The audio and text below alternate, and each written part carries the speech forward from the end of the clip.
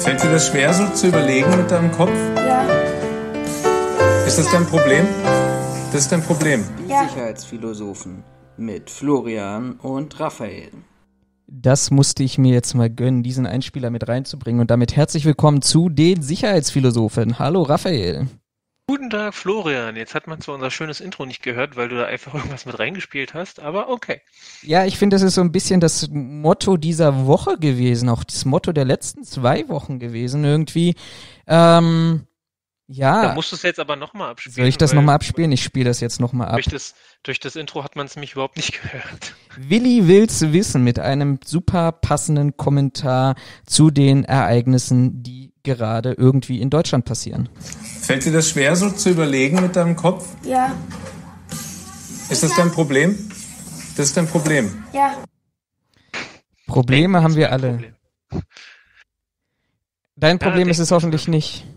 Ah, Manchmal würde ich es mir wünschen. Ja, und damit herzlich willkommen zu einer neuen Folge der Sicherheitsphilosophen. Folge 22 sind wir diese Woche sogar schon, nachdem wir in der letzten Woche wirklich einen, ne, nicht in der letzten Woche, sondern in der vorletzten Woche einen sehr, sehr spannenden Gast hier hatten zum betrieblichen Gesundheitsmanagement, gehen wir heute wieder back to the roots. Und äh, wir versuchen tatsächlich heute auch parallel mal was komplett Neues, denn ich werde dieses Ereignis äh, live streamen auf Facebook. So neue Medien und so sollte man ja immer mal wieder ausprobieren. Ähm, die Frage ist nur, funktioniert's oder funktioniert's nicht? Aber vielleicht etabliert sich das irgendwann dann mal als Standard für uns. Genau, für alle, die gerade den Stream, also machst du den Stream mit Kamera? Natürlich. Also für alle, die den Stream gerade gucken, ich winke gerade in die Kamera. Wenn ihr mich nicht seht, dann liegt es technisch an euch, nicht an mir. Du bist der geheimnisvolle Mann im Hintergrund. Genau, ihr müsst, ich bin quasi, ähm, ich bin quasi, wo, wo ist Walter? Äh, ihr müsst mich quasi finden. Was relativ schwer ist, weil ich vor einem Greenscreen sitze und ähm, Ja, ganz einfach wollen wir es denn ja auch nicht machen. Okay, ich werde ihn zwischendurch einbauen und ich denke mir ein, ein, ein wirklich geiles, ähm, ich, ich überlege mir eine Überraschung, versprochen an dieser Stelle, wer mir sagen kann, bei welcher Minute, äh, wer, wo ist Walter getarnt, als Raphael im Hintergrund auftaucht, der kriegt von uns irgendwas gewonnen. Ihr kriegt von Kriegt uns irgendwas irgendwas gewonnen. gewonnen. Fängt schon Ja. wieder super an. Ja, und Wester, wir haben auch schon wieder das, das, die nächste Regel. Ich habe mich diese Woche tatsächlich mit YouTube-Algorithmus ein bisschen beschäftigt und wir haben die wichtigste Regel natürlich wieder mal verpasst, die 8-Sekunden-Regel. Also in den ersten 8 Sekunden das Wichtigste überhaupt mitzuteilen, ähm, was wir auch, ähm, ja, was, damit ihr dran bleibt. Und ähm, aber ich glaube, ihr bleibt trotzdem dran. Ich hoffe, ihr bleibt trotzdem irgendwie dran. Ähm, zumindest haben wir schon mal vier Zuschauer, die live beim Stream dabei sind. Ähm, herzlich willkommen auch in die Richtung. Wir sind fast so gut wie, ach, wen gibt's denn da alles? Knossi, der Knossi? Knossi? Gurkensohn? Ach, wer weiß. Knossi? Ja, ja, der mit der Krone, der mal mit der Burger King Krone da rumsitzt. Sechs? Ja, ja, ich weiß. Der hört unseren, der hört, der hört uns? Nein, wir haben ungefähr genauso viel Streamer-Zuschauer. Ich glaube, der Ach ist irgendwo so, bei wollte grad 10.000. sagen, es aber ist ja egal. Wer denn unseren Podcast? Also, okay. Neue Wege, neue Möglichkeiten. Jetzt sind wir eben live. Ähm, wir haben spannende Themen wieder mitgebracht. Es ist unglaublich viel passiert in dieser Welt. Ähm, Na, Catcher, es ist unglaublich viel passiert. lasst uns dazu- die Welt retten. Wobei man dazu sagen muss, durch unseren Sonderpodcast sind ja jetzt quasi äh, vier Wochen, wo wir keinen regulären Podcast gemacht haben. Ähm, insofern, ja, haben wir eine ganze Menge zu tun. Dann würde ich sagen, starten wir auch gleich mit unseren Quickie-Themen. Und ich würde einfach sagen, Raphael, let's go. Du darfst anfangen. Ich fange an. Okay, warte mal, ich muss hier so. Zeit läuft. Ähm, ja, das erste Thema, das ich mitgebracht habe, viele können sich bestimmt noch dran erinnern, auch wenn das inzwischen fast schon wieder zwei Monate zurückliegt, ähm, an den äh, an den Tod von äh, George Floyd, der in Amerika aufgrund einer Polizeikontrolle, nenne ich es jetzt mal, ähm, gestorben ist.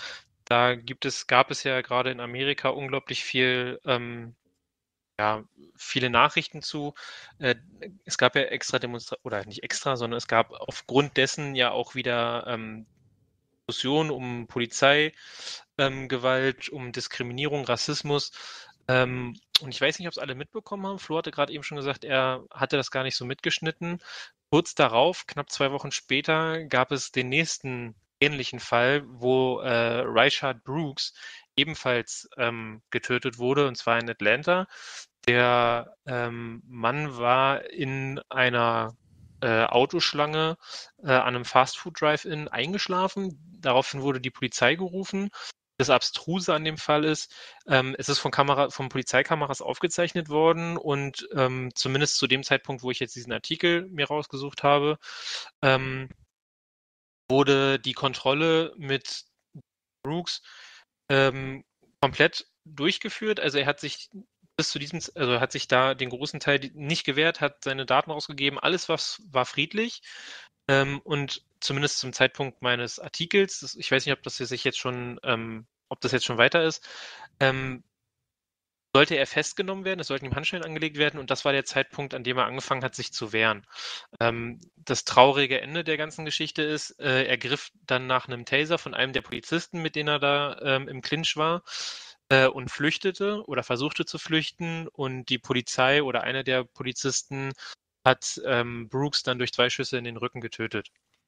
Hat die ganzen Proteste, Demonstrationen, Ausschreitungen in Amerika nochmal ein bisschen angeheizt. Um darum geht es mir im, im äh, Speziellen gar nicht, sondern ich habe äh, darüber ähm, auf Spiegel gelesen ähm, und ich klicke ab und zu mal in die Kommentare, weil ich mir die ganz gerne angucke und lese, was so die Meinung ist, die sich verschiedene Leute darunter bilden. Manchmal sind da ganz geistreiche Kommentare, manchmal sind da halt auch keine geistreichen Kommentare. Ähm, und da war unter anderem einer der ähm, der Kommentare, den Afroamerikanern muss erklärt werden, wie man sich im Umgang mit Polizei verhält. Wenn verhaftet werden, äh, wenn verhaftet werden soll, darf man sich nicht gewaltsam befreien, kein Elektroschrottkar vom Polizisten klauen und schon gar nicht damit auf Polizisten schießen. Im Gegenzug hätte es auch gereicht, wenn die Polizisten auf die Beine gezielt hätten. Mal wieder so ein typischer Beineziel-Kommentar. Worum es mir aber eher geht, ist diese Sache von Afroamerikanern muss erklärt werden, wie man sich im Umgang mit der Polizei verhält. Fand ich irgendwie ich sagen, komisch. Mhm. Weil warum, warum muss man das Afroamerikanern erklären und Weißen nicht? Zumal gerade in Amerika man ja oft diese Diskussion hat, dass die Polizisten gegenüber Weißen sich anders verhalten als gegenüber Schwarzen. Insofern äh, finde ich das sehr äh, komisch. Ähm, ein anderer Kommentar, den ich interessant war, war die eigentliche Frage sollte sein, warum muss ich, muss ich einem Täter nacheilen, der einen funktionstüchtigen Taser führt? Warum nicht kurzer Rückzug, äh, sammeln, Unterstützung rufen, Täter auf Distanz verfolgen, aber vorher halt erstmal Distanz schaffen? Für mich hat der Getötete erstmal viel falsch gemacht und sich kriminell verhalten, aber die Situation wäre möglicherweise anders lösbar gewesen. Aber wenn, aber man war ja auch nicht dabei. Letzter, letzter Satz finde ich hier auch relativ wichtig. Ne? Man war nicht dabei und danach, wir kennen die Diskussion vom Neptunbrunnen noch, man kann so viel da, äh, dazu sagen, auch dieses, man hätte ja auf die Beine schießen können und auf die Arme und pipapo. Ähm, wobei ich das hier auch so sehe, der, in meinen Augen die taktische Variante oder die taktisch richtige Variante wäre gewesen, wie er schreibt, Rückzug sammeln, Unterstützung rufen, Täter auf Distanz verfolgen. Ähm, ich weiß natürlich auch nicht, was da vorgefallen ist. Ich habe nicht nachrecherchiert, wie das da ähm, was da jetzt genau war, in Form von ähm, warum gab es plötzlich dieses Handgemenge etc. Ähm, aber es ist trotzdem in meinen Augen schon ja, sehr verstörend, dass es so schnell hintereinander passiert ist. dann, wie gesagt, einige Kommentare, weiß ich nicht, sind ist, in meinen meinst Augen. Du, meinst falsch. du, ähm, es, es ist äh, so schnell hintereinander passiert oder haben wir jetzt einfach nur die Sensibilität, dass dort was festgestellt nee, wird. Na, dann lass es mich anders ausdrücken, dass so schnell hintereinander zwei ähnliche Fälle publik geworden sind. Also ob das Problem da deutlich häufiger besteht, weiß ich nicht. Ich lebe nicht in Amerika. Meine Informationsquellen dazu sind relativ gering. Deswegen will ich mir das nicht herausnehmen zu sagen, wir haben das quasi jeden Tag, auch wenn ich nur, weiß ich nicht, drei Zeitungen habe, die aus Amerika berichten. Ne, das ist ja ein Unterschied, als wenn äh, ich in Amerika lebe, wo alle meine Nachrichten quasi über sowas berichten würden. Das, ich weiß nicht, ob dir das, mir ist das aufgefallen, als ich jetzt in Krefeld gelebt habe, dass du, wenn du in NRW lebst, du teilweise nicht die gleichen Nachrichten hast wie in Berlin, so also gerade so regionale Nachrichten, ähm, dass du dann, ähm, ich sag mal, andere Nachrichten bekommst, als wenn du zum Beispiel in Berlin lebst. Nicht, weil, die Berliner schlauer sind, sondern einfach, weil regional offensichtlich andere Nachrichten teilweise geschaltet werden. Also da sind teilweise Sachen bekannt gegeben worden in NRW, die hier in Berlin offensichtlich keinen interessiert hat. Ich denke mal, das ist Länderebene, wird es genauso sein, wenn es schon Bundeslandebene schon so ist. Okay. Ja, ja, ja, Entschuldigung, ich war, ich war, ich dachte, da kommt noch ein kleiner Nachsatz. Nee, okay, verstehe nee, ich, verstehe ich. Versteh ja, und das, gute wie Sache. gesagt, einige, einige Kommentare haben mich da gewundert. Ganz besonders halt dieses, den Afroamerikanern muss erklärt werden, wie man sich im Umgang mit der Polizei verhält. Ja, das Nein, ist. Ähm, man mit Sicherheit nicht. Ich denke, das ist ein grundsätzliches äh, amerikanisches Problem, dass man da sehr schnell ähm, in einer relativ aggressiven Grundstimmung ist. Das, wie es vielleicht hier in, in Deutschland bisher ähm, noch machen oder vermeintlich machen, ähm, dass man da versucht, eher deeskalierend zu wirken, wie wir es zum Beispiel auch in der Sicherheit machen. Ja. Wir, wir können uns auf keine Waffe oder auf ein körperliches Hilfsmittel zurückziehen. Bleibt halt nicht viel außer der Sprache und im schlimmsten Fall dann die Fäuste. Ähm, daher, ja, finde ich so einen Satz sehr unpassend in so, in so einem, ja, in so einer Situation. Das war der erste. Das war der erste. Ja, jetzt ist natürlich, das ist ein ganz schwieriges Thema. Wir haben ja in der letzten Folge ja auch darüber schon mal gesprochen, ähm, dass das wirklich, wirklich schwierig ist. Ja, wie komme ich denn dazu zurück nach Berlin? Hm, und zu meinen Themen. Naja, ich versuch's mal. Ähm, nein, ich kann es gar nicht versuchen. Harter Übergang. Berliner Verkehrsbetriebe sollen Maskenpflicht umsetzen. Das war irgendwie diese Woche das Thema überhaupt, ähm, was uns in irgendeiner Art und Weise hier in Berlin beschäftigt hat. Und zwar ähm, einfacher, simpler Hintergrund. Ich habe ja Verwaltungsrecht. Das Verwaltungsrecht wirkt ja ein auf ähm, entweder auf Behörden oder auf einzelne Personen. Und ähm, nicht über diese einzelnen Personen an Dritte. Das kann man sich ja so ein bisschen vorstellen wie ein Verkehrsrecht. Ähm, wenn der, der, der, der öffentliche, der, der Gesetzgeber sagt, du, Raphael, du darfst nicht bei Rot über die Ampel gucken, dann fahren, dann gilt das halt explizit für dich. Das gilt vielleicht auch dem Polizisten, der dich dann anhalten und kontrollieren darfst, ähm, darf, wenn du tatsächlich dann bei Rot gefahren bist, aber er kann dich ja nicht zwingen, dieses Recht gegenüber deiner Freundin, deiner Frau oder ähnliches umzusetzen. So, und Berlin hat jetzt ein Problem, das natürlich zu nach den wirklich hohen, nach der wirklich hohen Resonanz, es gibt so Zahlen, die immer wieder im Raum stehen, so zwischen 85 Prozent zur Einführung der Maskenpflicht im ÖPNV, diese Resonanz relativ schnell auch wieder ja, zurückgegangen ist. Ich weiß nicht, wie du es erlebst. Ich erlebe das morgens kommt so ein bisschen auf den Wochentag an, kommt so ein bisschen auch auf die Zeit drauf an, wann man fährt im, im ÖPNV. Aber ich merke schon, dass es dort ziemliche Unwuchten sind zwischen den Themen, ja, trage ich eine Maske oder nicht? Und dann natürlich nochmal die Frage, wenn ich die Maske am Kinn trage, vielleicht den Mund bedecke, die Nase frei ist, wie viel Sinn das macht. Ja, und dann war die große Frage, naja, wie kriegen wir denn diese Maskenpflicht überhaupt kontrolliert? So, die Bundespolizei hat sich relativ schnell rausgezogen und hat gesagt, ja, Moment mal, die Eindämmungsverordnungen, in denen diese Maskenpflicht ja verankert sind, sind Landesrecht. Wir als Bundespolizei sind gar nicht dafür verantwortlich, Landesrecht überhaupt umzusetzen. Ja, Moment, Moment, Moment. Jetzt muss ich aber kurz mal einsteigen. Ähm, seit wann ist denn die Bundespolizei für die BVG zuständig? Nee, nee, nee, ich, ich wollte ein bisschen herleiten. Sodass so. zu dieser ganzen Thematik Deutsche Bahn S-Bahn Berlin, S-Bahn Frankfurt, also überall da, wo Deutsche Bahn fährt, diese Maskenpflicht nicht umgesetzt beziehungsweise kontrolliert wird. Ähm, bei der BVG ist das ein bisschen anders. BVG ist wie alle anderen städtischen Verkehrsbetriebe ähm, keine Eisenbahn des Bundes und somit im Zuständigkeitsbereich der Landespolizei. So, und die Landespolizei hat hier in Berlin auch schon gestöhnt ähm, was sie denn noch alles machen sollen. Ich glaube, das kann man auch ganz gut nachvollziehen. Zu der Frage, was sollen sie denn noch alles machen zu den anderen Themen? Ich meine, wir haben ja auch eine, außerhalb von Corona eine, eine, eine Demonstrationslage, wir haben andere Themen. Also wie dem auch sei, wir ähm, hat die Landespolizei ein Problem. Und dann kam ein sehr, sehr kluger Mann oder eine kluge Regierung hier in Berlin auf die Idee, naja, lass doch die Maskenpflicht von der BVG umsetzen.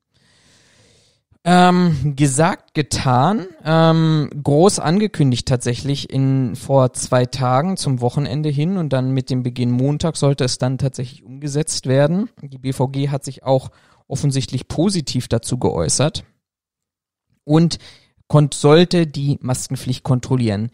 Ja, was kam raus? Gestern kam raus, nicht von wegen, wir machen hier irgendwie eine Gesetzesänderung und wir geben der BVG an, als Anstalt des öffentlichen Rechtes, also Teil möglicherweise oder in einigen Bereichen des öffentlichen Dienstes sogar, ähm, die Möglichkeit, hier äh, tätig zu werden, sondern die BVG hat es ganz simpel gemacht und hat das in ihre Hausordnung reingeschrieben mit einem ganz, ganz schlanken Satz und die Maskenpflicht auf eine Ebene gestellt mit der Thematik wie ähm, Vögel füttern sind im Bahnhof verboten und Rauchen sollte man nicht tun und, und solche und wird dann zukünftig nicht ein Ordnungsgeld erheben in Höhe von 50 Euro, sondern nur eine Vertragsstrafe. Ob die Vertragsstrafe ans Land geht, ich meine letztendlich die BVG ist Landesbetrieb, irgendwie ähm, kommt das alles tatsächlich dann auch wieder zurück. Aber ähm, das fand ich ganz interessant, vor allem weil die BVG auch angekündigt hat und gesagt hat, naja, wir werden 200 Sicherheitskräfte dazu einsetzen. Ähm, wo natürlich relativ schnell die Frage kam, naja, wo kommen denn diese Menschen her? Also diese 500 Sicherheitskräfte und äh, 200, Entschuldigung, 200 Sicherheitskräfte, 500 wäre ein bisschen viel. Und ist das nicht mit Kanonen auf Spatzen schießen. Äh, ganz, ganz spannende Thematik. Alles, wenn man das alles nochmal so ein bisschen betrachtet unter dem Hintergrund oder vor dem Hintergrund eigentlich, dass es auch darum geht zu sagen, naja, der ÖPNV ist ja schon im VBG Security Report für 2019 oder 2019 für 2018. Der ÖPNV ist Platz drei ähm, der Übergriffe oder die, der Bereich mit den häufigsten ähm, Unfällen, Arbeitsunfällen, wozu auch Körperverletzung und Konfrontation zählen und ich mir dann überlege, naja, äh, wenn man sich so ein bisschen die, die Medienlage dazu anschaut, dass Maskenverweigerer ja nicht wirklich diejenigen sind, die ähm, Angst haben, dass ihre Schminke irgendwie verwischt und dass die vielleicht wirklich ihre Schminke vergessen haben zu Hause, äh, ihre Schminke, ihre Maske zu Hause vergessen haben, dann haben wir, glaube ich, einen ganz, ganz großen Teil, wenn ich die Hygiene-Demos mal in Anführungsstrichen der letzten Wochen mir anschaue, dass ich da Verschwörungstheoretiker, da, dass ich Rechte habe, dass ich da irgendwelche äh, stark aggressiven Personen habe.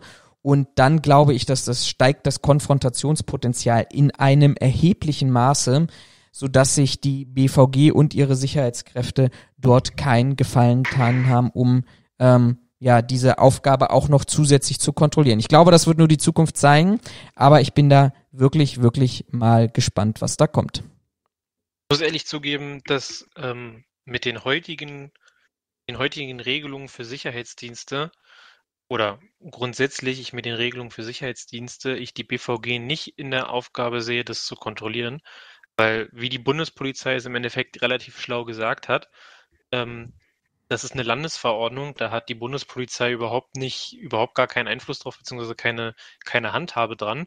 Sehe ich das ähnlich, ähm, auch wenn es dann um das Thema BVG geht. Das ist immer noch eine Landesverordnung und die Umsetzung einer Landesverordnung oder auch die Ahndung einer Landesverordnung obliegt mit Sicherheit nicht ähm, einer von mir aus auch noch öffentlichen Institution wie der BVG, die, glaube ich, ja teilprivatisiert ist, beziehungsweise ähm, irgendwie noch Anteile von äh, der äh, äh, von, von Berlin hat, vom Bundesland Berlin hat, ähm, sehe ich trotzdem nicht in der Aufgabe der BVG, das zu kontrollieren, sondern die Eindämmungsverordnung oder Infektionsschutzverordnung, wie auch immer sie heißt, als Landesrecht sehe ich auch in der Kontroll- und Zuständigkeit ähm, der Polizei Berlin. Das mag jetzt zwar für die Polizei Berlin scheiße klingen, weil die natürlich zu Recht sagen, was sollen wir noch alles machen? Keine Frage, die haben auch nicht genug Personal, um das überhaupt zu machen oder überhaupt zu stemmen.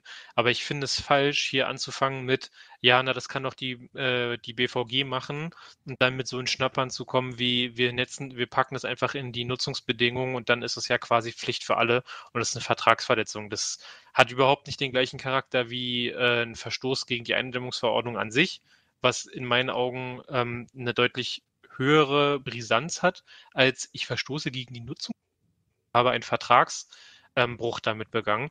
Von daher, also ich bin da kein Freund von. Normalerweise spreche ich, wie ja bestimmt alle wissen, gerne für die Polizei, aber in dem Fall, das, ich sehe das nicht bei der BVG. Also ich sehe das ganz klar bei der Polizei eigentlich, auch wenn sie nicht die Kapazitäten dafür haben. Ja. Ja. Also muss man einfach mal so ganz klar sagen. Aber vielleicht wäre das ja auch ein, eine Möglichkeit gewesen, ähm, nochmal der Politik klarzumachen, dass wir zu wenig Polizisten haben. Aber gut, sie haben es anders gelöst. Genau. Gut, kommen wir zu einem nächsten Thema. Warte mal, dann schiebe ich das andere Thema erstmal vor, ähm, wenn wir schon bei Corona sind. Und zwar gab es eine ähm, bezirksübergreifende ähm, ja, Durchsuchungsaktion der Polizei ähm, und zwar zu dem Thema Subventionsbetrug im Zusammenhang mit Corona-Hilfen. Und zwar waren da am 23.06. rund 250 Einsatzkräfte der Berliner Polizei zusammen mit der Generalsta Generalstaatsanwaltschaft ähm, Berlin unterwegs und haben äh, Subventionsbetrüger beziehungsweise ja doch Subventionsbetrüger ähm, in Zusammenhang mit der Beantragung von Corona-Hilfen ähm, ja, aufgesucht, besucht und mal nachgefragt, ob das alles so wirklich in Ordnung ist. Dabei sind ähm, drei Wohnobjekte, ein Buchhaltungsbüro und eine Moschee ähm, durchsucht worden. Tatverdächtig sind ein 50 und ein 56-Jähriger, ähm, sogar aus der islamistischen Szene, schreibt die Polizei hier. Ähm, und man geht davon aus, dass hier betrügerisch Soforthilfe für Corona beantragt wurde. Im einen Fall soll es sich ähm, um Hilfen in Höhe von 9.000 Euro gehandelt haben, ähm, beantragt und wohl auch ausgezahlt wurden. Ähm, und diese sind dann quasi auf das Privatkonto von diesen einen Kollegen da ähm, gezahlt worden. Ähm, in den zweiten Fall geht es um rund 14.000 Euro, die beantragt wurden. Und äh, da geht es sogar darum, dass davon ausgegangen wird oder dass verdächtigt wird, dass dieser Verein, der da diese 14.000 Euro beantragt hat, sogar mehrfach Corona-Hilfen beantragt hat. Also nicht nur einmal, sondern unter welchen Alibis auch immer, noch gleich mehrfach hinterher. Ähm, und dabei sind sogar ähm, Corona-Hilfen an tatsächlich nicht existierende Einzelunternehmen in diesem Zusammenhang in Höhe von 19.000 Euro ausgezahlt worden sein. Ähm, wobei 10.000 wohl an die, äh, an die Beschuldigten ausgezahlt wurden. Jetzt unabhängig vom Hintergrund äh, dieser Person finde ich es echt bedauerlich, oder bedauerlich trifft es nicht, aber sehr enttäuschend, dass die Menschheit inzwischen so drauf ist, dass wenn man irgendwem helfen will ähm, oder jemandem einen kleinen Finger hinhält, einem die ganze Hand abgerissen wird und es immer irgendwelche Idioten gibt, die der Meinung sind, das ausnutzen zu müssen. Halt, weiß ich nicht, als ich Corona-Hilfen das erste Mal gehört habe, ging mir als erstes durch den Kopf, ja, wie viele kommen denn jetzt auf die Idee, da betrügerische Maschen ähm, nach sich zu ziehen. So schöner finde ich es, dass das hier jetzt relativ fix, ähm, also Juni im Vergleich, weiß ich nicht, ab wann konnte man beantragen? Ich gehe mal von April, Mai aus, dass man da jetzt so schnell hinterher ist, um das ähm, quasi ja, aufzuklären. Ähm, die Ermittlungen dauern aktuell noch an nach diesem der Polizeimeldung. Von daher ist jetzt nicht bekannt, was, was genau damit auf sich hat, beziehungsweise wie das, wie das ausgeht. Das wird wahrscheinlich noch einen Moment dauern. Aber ich finde es ganz gut, dass man da den ersten Schlag quasi getan hat.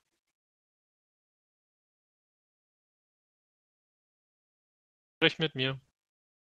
Oh, mein Mikro war nicht an. Ha. So, ja, ich glaube, da wird uns eine ganze Menge noch erwarten. Ähm, einfach auch, glaube ich, hinsichtlich der dieser dieser ganzen Thematik, was wir uns ja mit grundsätzlich ja schon beschäftigt haben, nämlich der Fragestellung auch, naja, was ist mit den Anforderungen des BDSW, was ist mit den Anforderungen der, der anderen Aspekte. Ich werde euch mal an dieser Stelle nochmal die Folge verlinken, wo wir das das letzte Mal drüber gesprochen haben, und zwar einfach die, die, die Reduzierung der Anforderungen. Wir erleben ja gerade so eine Situation meines Erachtens, wie wir sie in der Flüchtlingskrise 2015 und davor und danach miterlebt haben, dass jeder irgendwie auf diesen Zug aufspringt. Und ich glaube, auch in der Sicherheitsbranche haben wir genau diesen Zug, auf den jetzt aufgesprungen wird, durch äh, unqualifiziertes Personal, durch ähm, äh, äh diese staatlichen Unterstützung, wobei, wenn wir mal ehrlich sind und uns da die Zahlen angucken, ähm, dann ist es in Deutschland richtig, richtig gut gegangen. Also ich möchte da nur mal dran erinnern an dieser Stelle, wir haben trotz Corona und der BDSW hat ja an dieser Stelle immer wieder argumentiert, dass es uns so furchtbar schlecht geht in allen Punkten. Wir haben trotz Corona einen, einen fortgesetzten Umsatz, eine fortgesetzte Umsatzsteigerung gegenüber dem Vorquartal 2019 von 1,6 Prozent und nur 3,5 Prozent aller Wach- und Sicherheitsunternehmen ähm, haben überhaupt äh, staatliche Hilfen benötigt. Also von daher muss ich an dieser Stelle wirklich sagen, ganz ehrlich, ja, ich glaube, da ist, da ist viel Betrugspotenzial möglich. Genau, du hattest das ja auch auf deiner Seite auf Facebook ähm, unter anderem auch gepostet, dass man in Nordrhein-Westfalen ähm, prüft, ob es einen Betrug an Kurzarbeitergeld gibt. Und ähm, da hattest du ja sogar mit dazu geschrieben, dass ähm, es aktuell einen Fall gibt äh, aus dem Sicherheitsgewerbe, wo das geprüft wird. Ähm, auch wenn die Zahlen oder Übrigens auch im so Zusammenhang mit äh, Asylbewerberheimbewachung, ne? Also da ist ja noch ja, ja, genau. Also quasi doppelt, dass du zum einen den Staat bescheißt und dann auch noch für den Staat arbeitest. Ähm, auch wenn die Summen jetzt vielleicht nicht die höchsten sein wollen. Ne? Also was ich jetzt gesagt hatte mit ähm, was waren es, 9.000 Euro, 14.000 Euro, 19.000 Euro.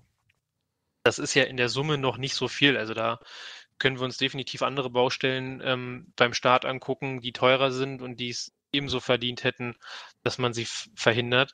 Nichtsdestotrotz finde ich es halt jedes Mal schlimm, wenn ähm, man hier nicht die fünf Grade sein lassen kann in Form von, äh, dass quasi du überall sofort von Betrug ausgehen musst, was ja hier auch mehr oder weniger berechtigt war und dass die Leute heutzutage offensichtlich, zumindest ist mein Eindruck, überall, wo sie nur können, ähm, versuchen zu bescheißen oder zu betrügen.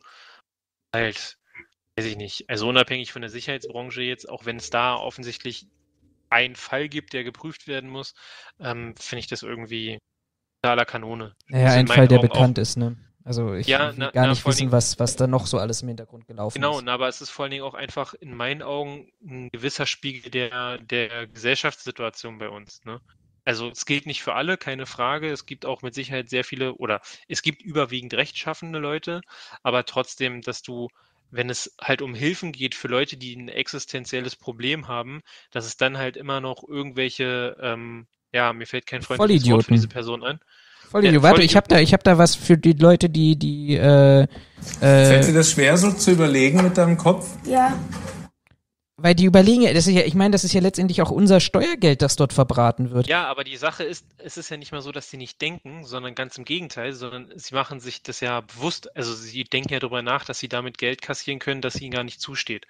Insofern haben sie ja nicht mehr das Problem zu denken, sondern sie nutzen das Denken, ja, aber mit krimineller Machenschaft oder krimineller Energie im Hintergrund. Und das ist, weiß ich nicht.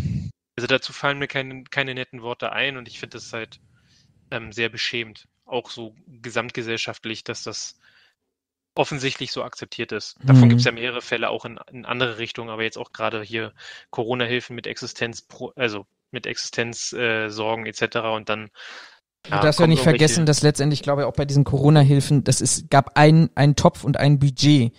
So, mhm, das heißt genau. im Umkehrschluss auch, dass wenn dieser Topf, auch wenn es nur in Anführungsstrichen neun oder ein bisschen über 10.000 Euro sind, ähm, der, der rausgenommen werden. Das sind dann wieder neun oder zehntausend Euro, die letztendlich äh, jemand anders nicht damit geholfen werden kann und der dann wirklich an seiner Existenz nagt, ne? Ich weiß jetzt nur gar nicht, ob, der, ob das äh, Budget für, für die Corona-Soforthilfen, ob das gedeckelt war. Da bin ich mir nicht ganz sicher. Oder ob das quasi mehr oder weniger nach oben hin offen war. Das, da bin ich mir nicht, nicht mehr ganz sicher. Da habe ich unterschiedliche ähm, Informationen im Kopf, wovon, wovon ich nicht sicher bin, welche. Ich glaube, das war auch Landessache ist. teilweise. Ne? Also das kann, das kann gut sein, dass es einen Topf von, den, von der Bundesregierung oder vom Bund gab und dann aber auch nochmal entsprechende Töpfe in den einzelnen Ländern. Das kann gut sein. Hm. Ja gut, das quasi dazu. Ähm, ja, ich habe ich hab auch was Spannendes mitgebracht. Weil wir gerade bei Corona sind, würde ich dieses Thema eigentlich gerade mal ansprechen. Und zwar gab es eine britische Studie, ähm, die mit dem Titel Why is the death rate of security officers comparatively high? Thinking about the reasons ähm, aus dem Juni 2020, also fast noch druckfrisch, ganz aktuell. Und die haben festgestellt, dass in Großbritannien, und das muss an dieser Stelle betont werden, bevor jetzt hier irgendjemand sagt und denkt, naja, in Deutschland ist das genauso. Nein, in Großbritannien, ich habe mal tatsächlich für einen ähm, Artikel, den ich gerade geschrieben habe, für eine englische Fachzeitschrift geguckt, ob wir in Deutschland irgendwelche Zahlen haben. Die liegen tatsächlich gerade nicht vor, beziehungsweise das Wach- und Sicherheitsgewerbe wird dort nicht genannt. Aber in Großbritannien gibt es eine Todesrate von 57,5 Personen auf 100.000 Menschen. Ähm, und das ist tatsächlich äh, extrem, extrem hoch. Ähm, weil ähm, ja, also im, im, im, im britischen Vergleich und man versucht, diese Studie versucht, da tatsächlich berufsspezifisch ein paar Herleitungen zu treffen und sagt, naja, gut, Sicherheitspersonal steht in vorderster Front, äh, Frontline äh, Guards, die sind auch in ihrer Tätigkeit damit ja betroffen, dass sie praktisch auf die Leute einwirken müssen, also ganz äh, enger ähm, Kontakt zwischen den Personen existiert und haben letztendlich auch während Corona ihren Dienst eins zu eins in dieser Art und Weise durch und weiterführen müssen, als wie oder wie es letztendlich zuvor war. Ähm, das ist natürlich die, die eine Seite der Medaille. Die andere Seite der Medaille ist, wer so ein bisschen in die Vergangenheit zurückkommt und Boris Johnson sich da noch vor Augen führt, der ja gesagt hat, Großbritannien geht dort einen anderen Weg, nämlich den Weg, dass sie eine Durchseuchung versuchen und damit eine Herdenimmunität erreichen.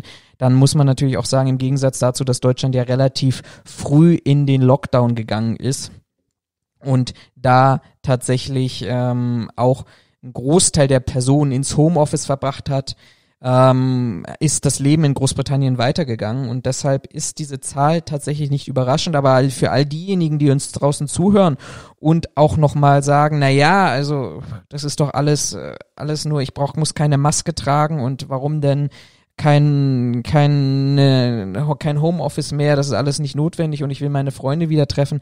Da hat man neben Schweden übrigens, was lange, lange ja als Vorbild galt für diese ganze Thematik, dass es auch anders geht, sieht man einfach in den Zahlen, Leute, das ist ein Beispiel, so hätte es auch in Deutschland gehen können, wenn wir diese Maßnahmen nicht ergriffen haben und mit denjenigen, die irgendwie diskutieren und dann auf die mit Argumenten kommen wie, äh, naja, Bill Gates hat ja das alles äh, verursacht und will uns chippen und ich, ich lasse mich nicht impfen und sowas, mit dem diskutiere ich an dieser Stelle sowieso auch gar nicht mehr.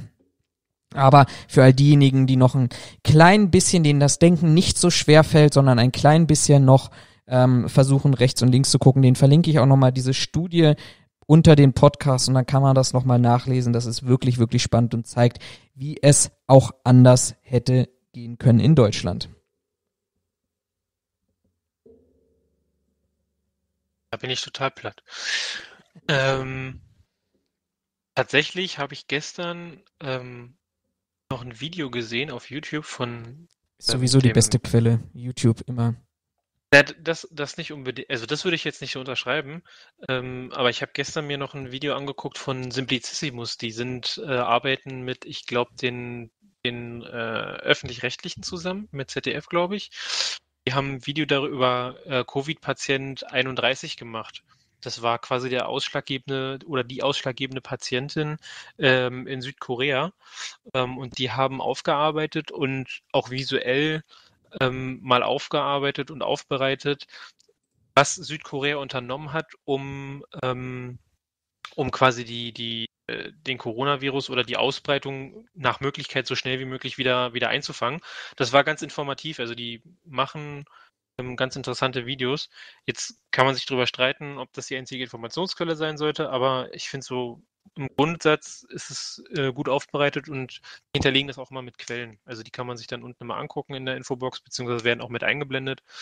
Ähm, fand ich ganz interessant, wie sie das, also was Südkorea in, jetzt ganz speziell da unternommen hat, um das ähm, irgendwie ja, nicht loszuwerden, aber zumindest schnellstmöglich wieder einzudämmen. Wobei man ja dazu sagen muss, dass Südkorea ja auch, ich sag mal, was Datenschutzrecht ging und Auswertung von Video und Metadaten aus den Handyverkehren und ähnlichen, ja, ich sag mal, ein klein bisschen andere Vorstellung, datenschutzrechtliche Vorstellung hat, als, als wir es vielleicht haben an dieser Stelle. Du, ja klar, also das wird im, das wird ja in dem Video wird es ja auch dargestellt, dass sie ja viel über äh, Video, also sie haben Covid-Patient 31, als klar war, dass er, ähm, dass er positiv getestet ist, ähm, noch um so viel Spoiler zu geben, haben die innerhalb von kürzester Zeit, ich glaube, fast 4000 Leute identifiziert, die mit dieser Person in Kontakt stand, über Videoaufzeichnung, über Handyverfolgung, ich glaube, Social-Media-Verfolgung haben sie auch gemacht, wenn ich mich nicht ganz irre, ähm, um das zu backtracken, was äh, mit wem er Kontakt hatte und haben darüber Leute quasi zusammenbekommen. Da kann man sich jetzt natürlich wieder drüber streiten und unsere Hysteriker werden da auch gleich wieder aufschreiben mit äh, Datenschutz, es geht keinem was an und Freiheit. Ähm, bin ich auch komplett bei, ist richtig.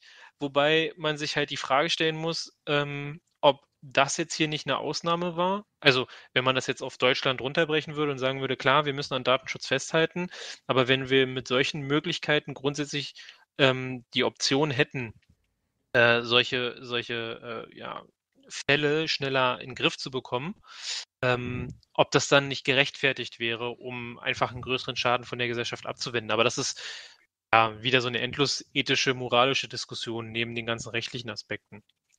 Apropos, dazu habe ich gleich noch eine interessante Story, die ich noch erzählen muss. Erinnere mich gleich mal dran. Okay, dann äh, möchtest du dein letztes Thema mitnehmen? Genau, und zwar jetzt mal was anderes ab von Corona, auch wenn wir gleich nochmal drauf zu sprechen kommen. Die Polizei Berlin hat in der Woche vom 22.06., beziehungsweise ich glaube auch in der Woche davor, ähm, Berliner Verkehrssicherheitstage abgehalten. Das macht die Polizei hin und wieder mal, dass sie eine Woche ähm, bestimmte Schwerpunkte besonders ähm, mit hohem Kräfteeinsatz sich anschaut und ich sag mal, Entschuldigung, äh, äh, ahndet.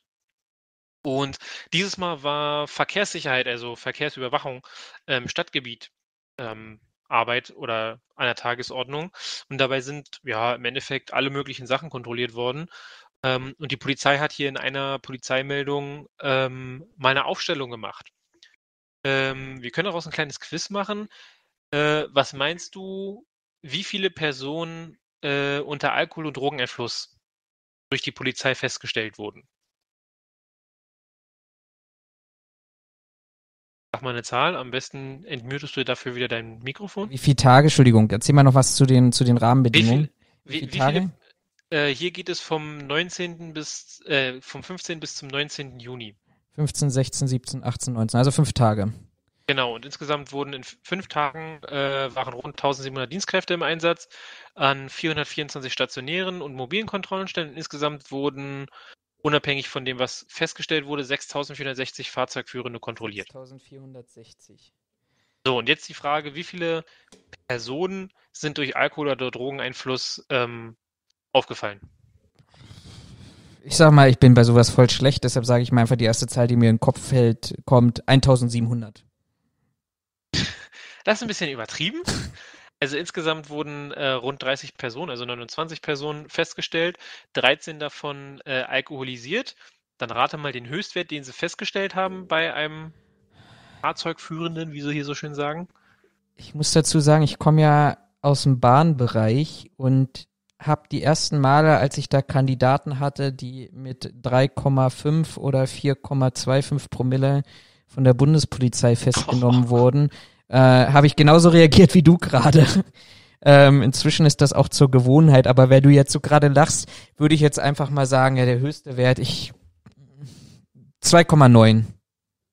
Gut geschätzt, es waren 2,25. okay, ähm, naja.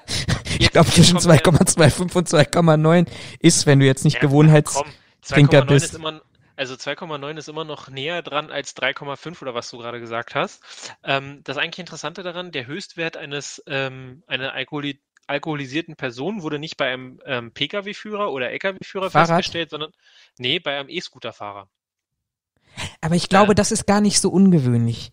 Ich glaube, Aber das, ist einfach so, so. unglaublich schwer. Du musst auf dem Scheißding doch irgendwo zumindest ein bisschen äh, Balance halten. Und wenn ich überlege, also wenn ich zwei Bier trinke, dann ist es mit der Balance bei mir komplett hin und der Typ hatte 2,25 Promille. Ja, jetzt müssen wir an dieser Stelle auch nochmal sagen, dass du ja nicht derjenige bist, der nicht mal nicht nur nicht regelmäßig, sondern dass in fünf Jahren die Ereignisse, wo du ein Bier trinkst, an einer Hand abzuzählen ist, würde ich jetzt mal so Ja, pauschal aber, sagen. tro aber, aber trotzdem, 2,25 Promille ist doch auch für einen, ich sag mal, Gelegenheitstrinker bestimmt kein Wert, den er äh, einfach und ohne Probleme erreicht und hält. Also ich finde 2,25 Promille ist schon, ist schon eine harte Ansage, auch für jemanden, der, weiß nicht, am Wochenende mal ein Bier trinkt oder halt, weiß ich nicht, unter der Woche sein Abend Feierabendbier trinkt oder sowas. Wir machen, wir machen, du, du- wir machen mal einen Feldtest. Du rufst mich Samstag Genau. um 22.30 Uhr an und dann, Wir machen mal einen Stream dazu. Ähm, genau, 16 Personen sind dann noch unter Einfluss sonstiger berauschender Mittel gefahren. Ähm, ich will gar nicht auf alles eingehen. aber das Was ist aber noch sehr- wenig. Also, Entschuldigung, wenn ich jetzt Ja. gerade dir da mal reinpresche, aber bei, bei, bei 6460, ich habe es mir extra aufgeschrieben, weil so Zahlen nicht so mein Ding ist, ähm, dann insgesamt vielleicht, ich sag mal, mit, mit anderen Mitteln und allen drum und dran, äh, vielleicht äh, 25, 30 Leute gehabt zu haben, hätte ich jetzt echt nicht gedacht. Da bist du ja selber, warte mal, ich rechne es mal, mal, mal runter, da bist du ja vielleicht bei 5 Prozent. Ich meine, das spricht, spricht für unsere Fahrer, also das, da können wir ja froh sein an dieser Stelle. Aber auf der anderen Seite hätte ich echt gedacht, dass das Also Deutlich ta- mehr tatsächlich, Alkohol- und Drogeneinfluss war relativ wenig. Jetzt kommen wir zu Ge- Geschwindigkeitsverstößen. Was meinst du denn, wie viele Überschreitungen registriert wurden? Überschreitung wird hier nicht näher äh, definiert. Also potenziell könnte auch, also ich gehe mal davon aus, sie werden nur die registriert haben, wo sie dann auch eingeschritten sind. Also 3, 4 km/h werden sie wahrscheinlich gar nicht hm. rausgezogen haben. Aber was meinst du, wie viele Geschwindigkeitsverstöße es gab?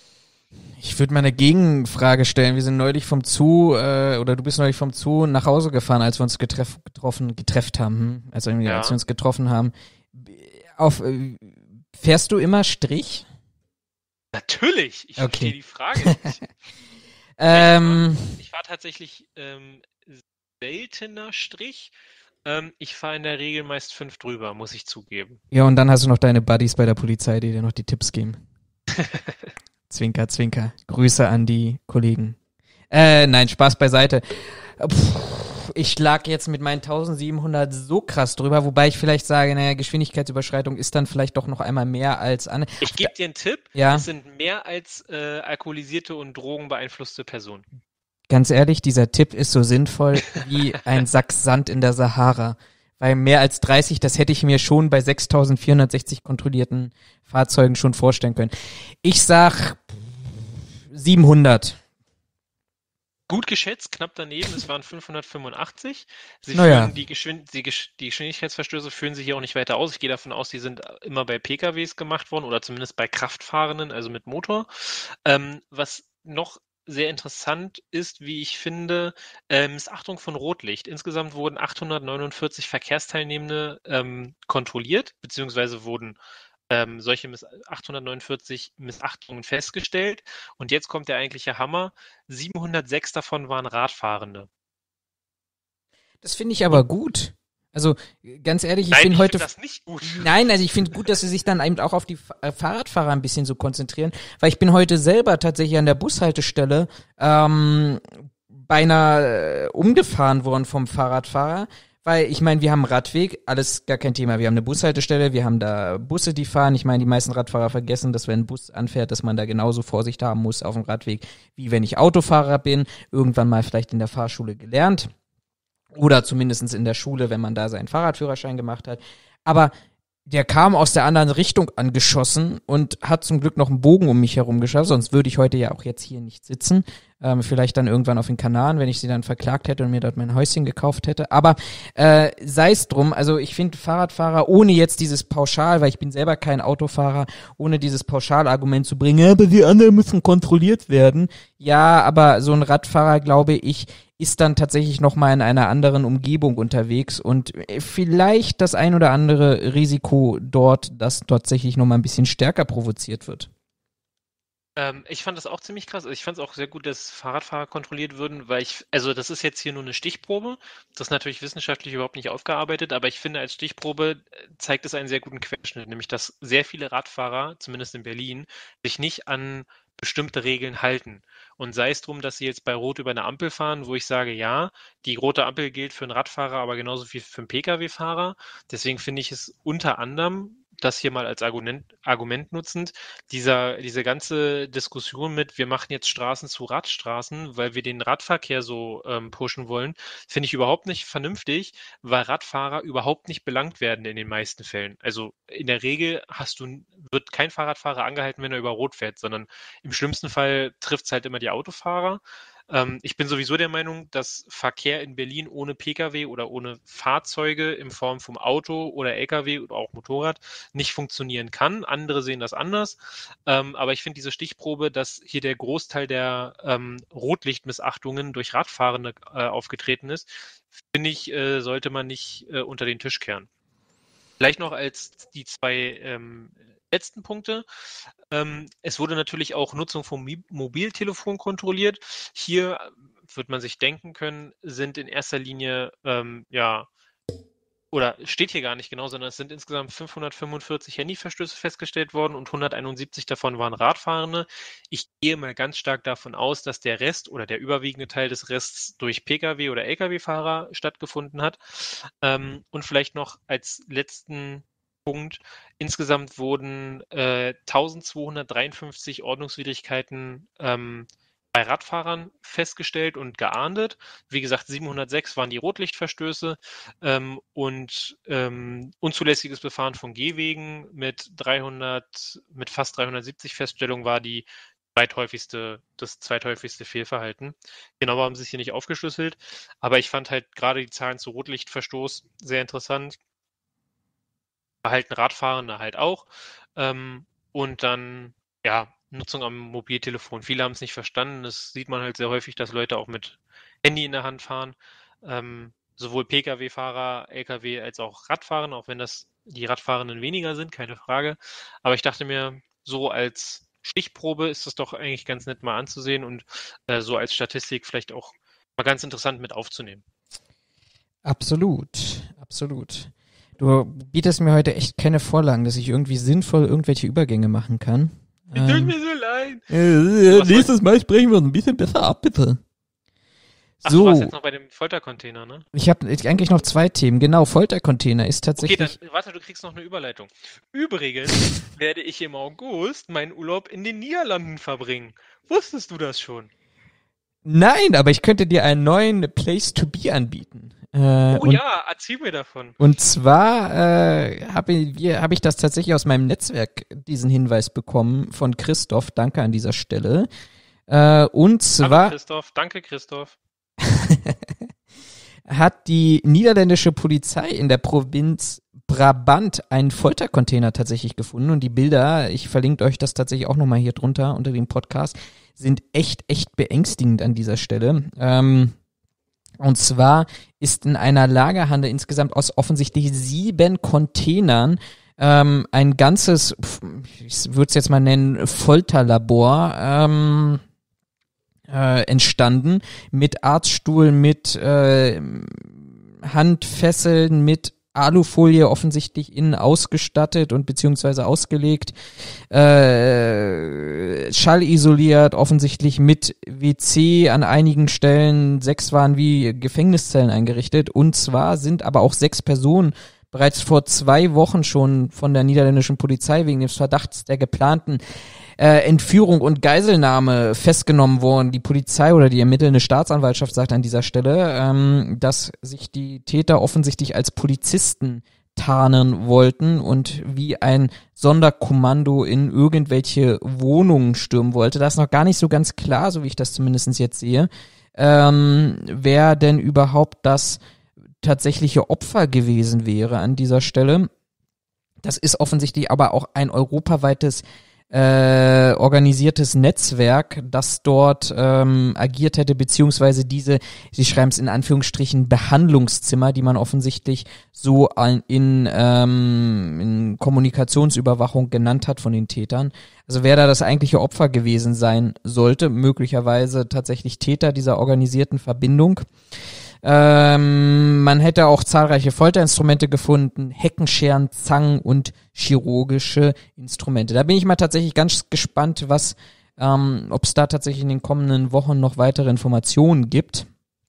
Ähm, wer denn hier eigentlich das Ziel sein sollte. So, und von den Niederlanden bin ich örtlich gesehen gar nicht so weit entfernt vom Europaparlament und dort hat vergangene Woche der äh, EU-Abgeordnete und Satiriker der Piratenpartei Nico Semsrott Alarm geschlagen. Ich habe mir das YouTube-Video auch angeguckt. Das werde ich an dieser Stelle auch auf YouTube bei euch ähm, äh, verlinken dahin.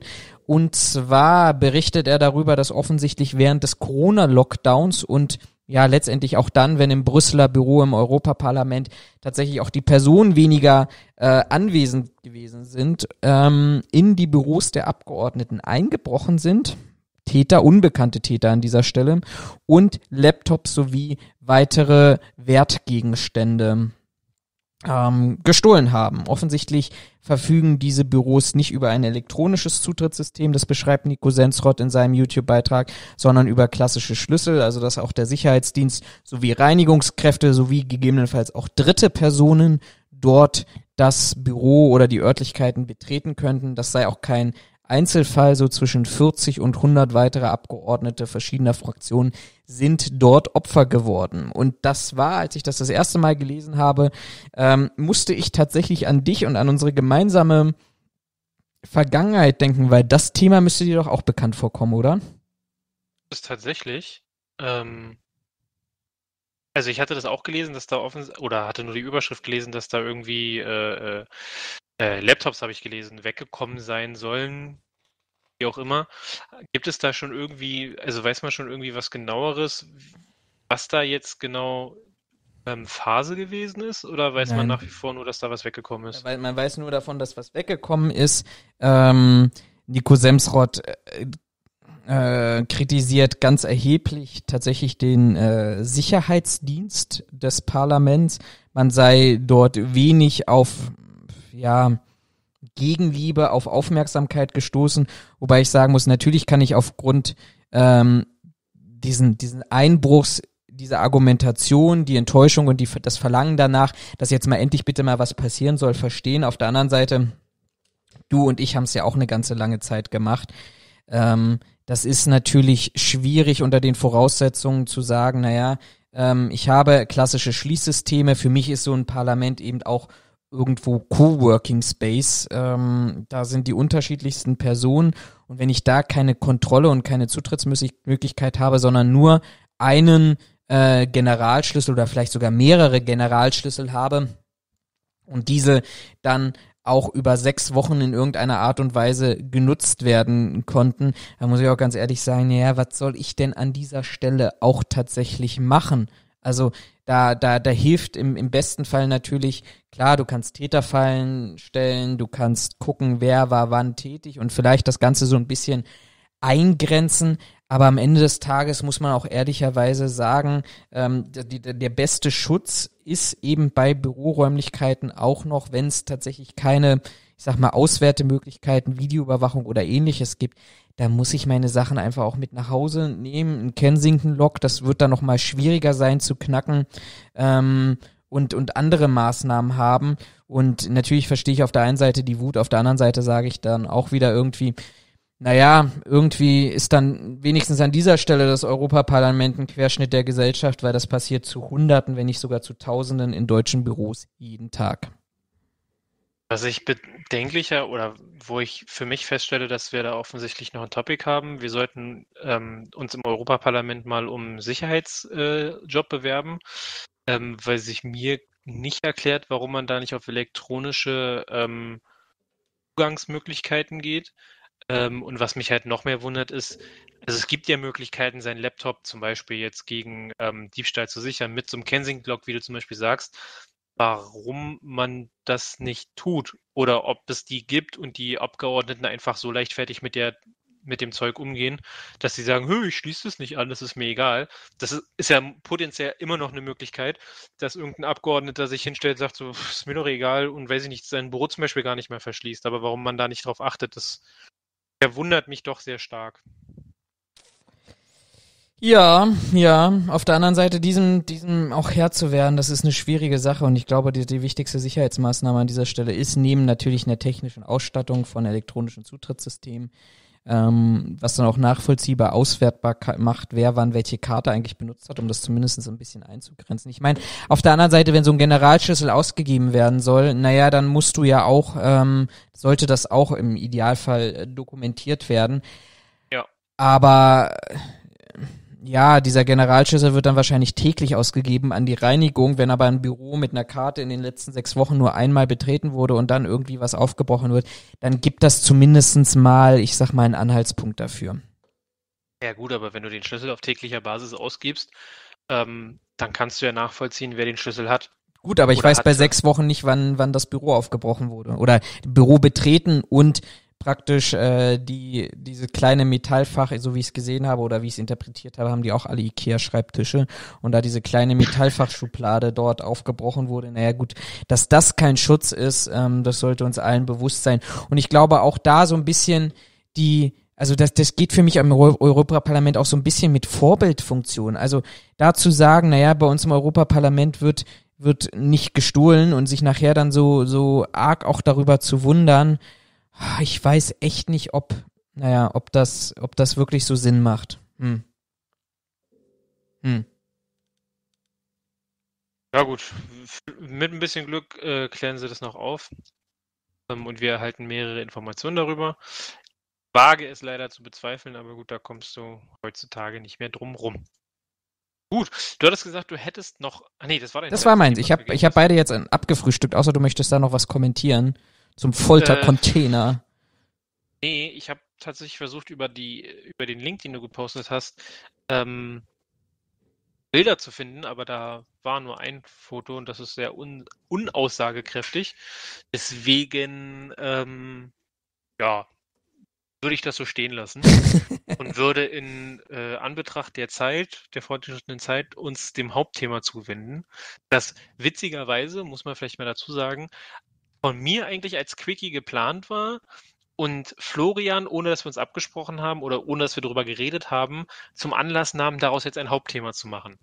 Ja, und all diejenigen, die ähm, da die letzten Wochen das auf Facebook bei mir verfolgt haben, die werden jetzt wahrscheinlich mit den Augen rollen und die werden jetzt abschwingen an dieser Stelle. Ist mir scheißegal, aber ich glaube, wir müssen mal grundsätzlich darüber reden, wie wollen wir eigentlich in Deutschland mit Polizeikritik umgehen.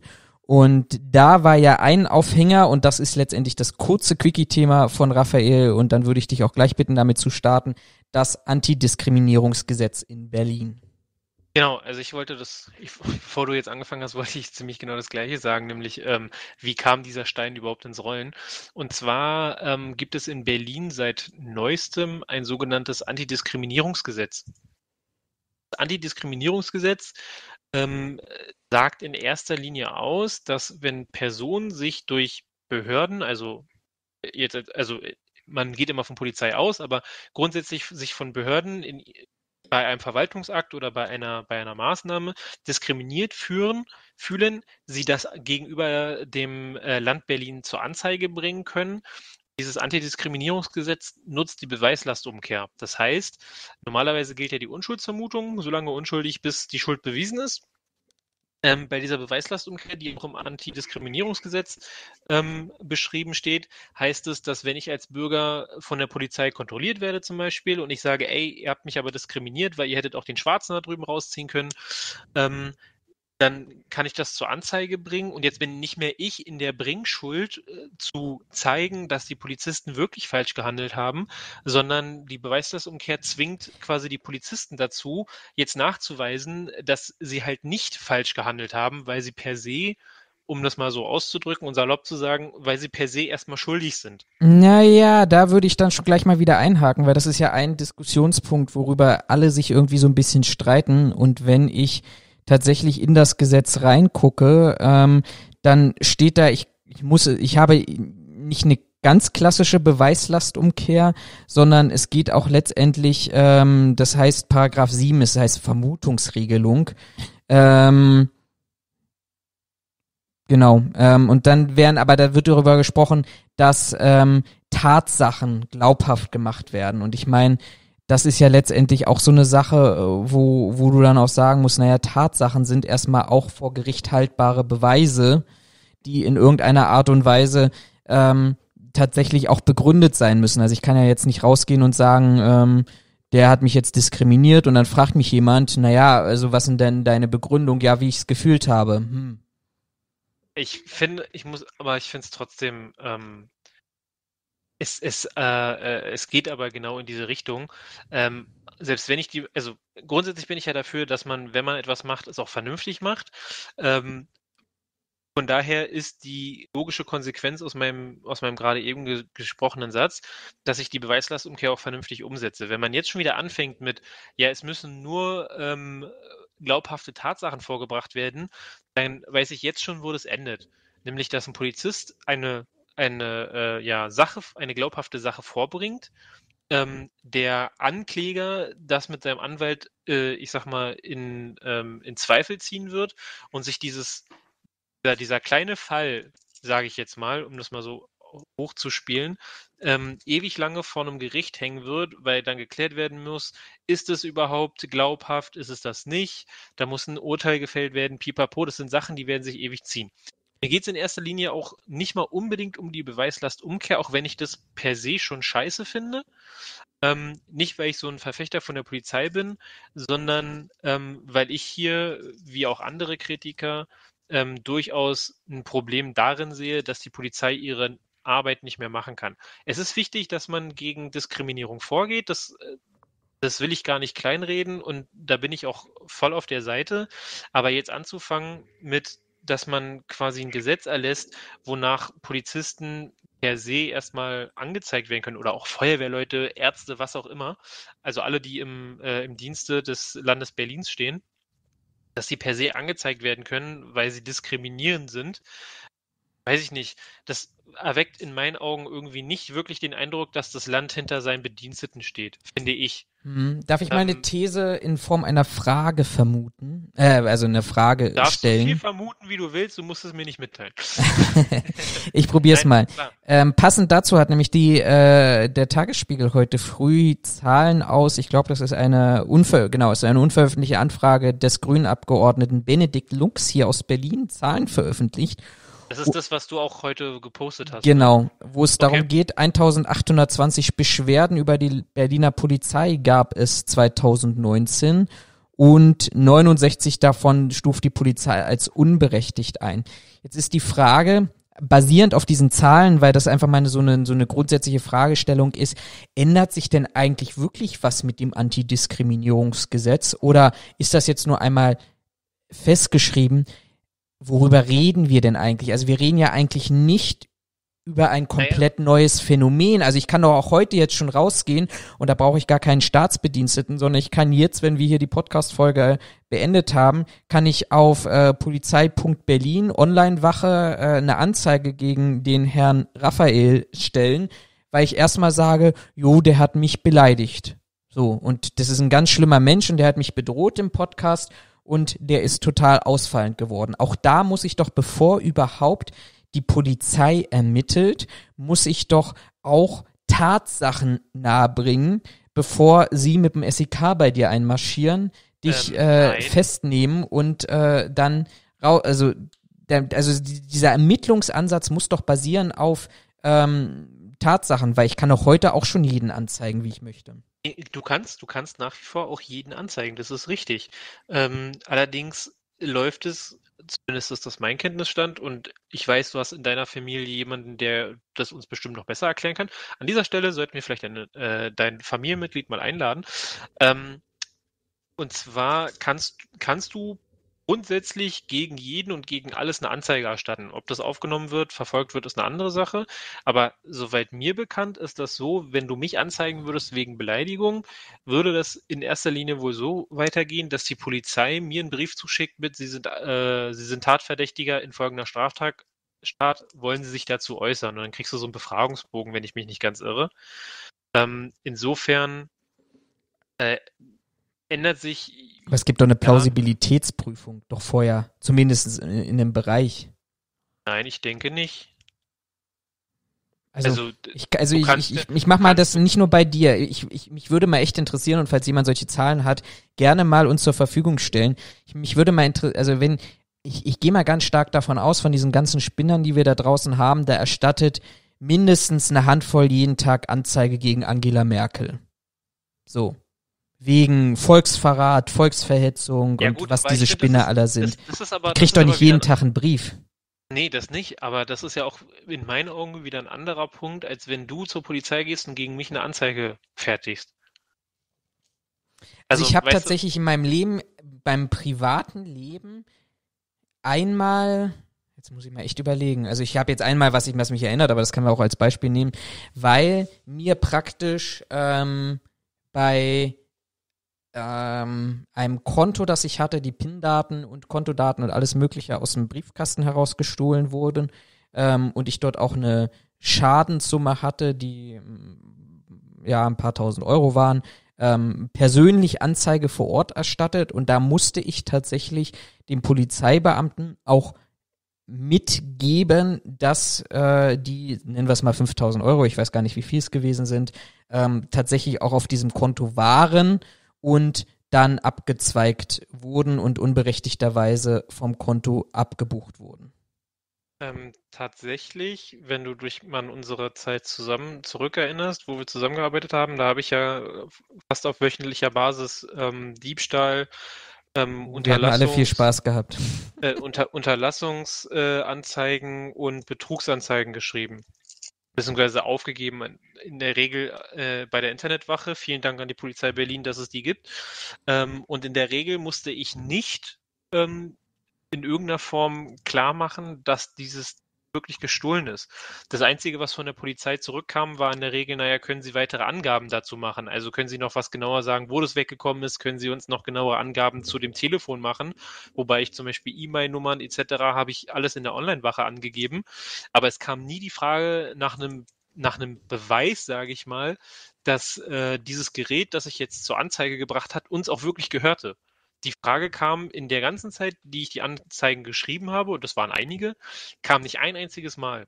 Mhm. Ja gut, aber also, jetzt steht jetzt nun mal hier im Paragraph 7 drin, werden Tatsachen glaubhaft gemacht. Also da sind ja, das, das sagt für mich jetzt erstmal, gut, nachher wird das am Ende des Tages... Warum hast du das Gesetz und ich finde es nicht? Ich habe sogar reingestellt in unseren Regieplan und zwar unter, worüber reden wir denn überhaupt? Zahlen, Daten, Fakten.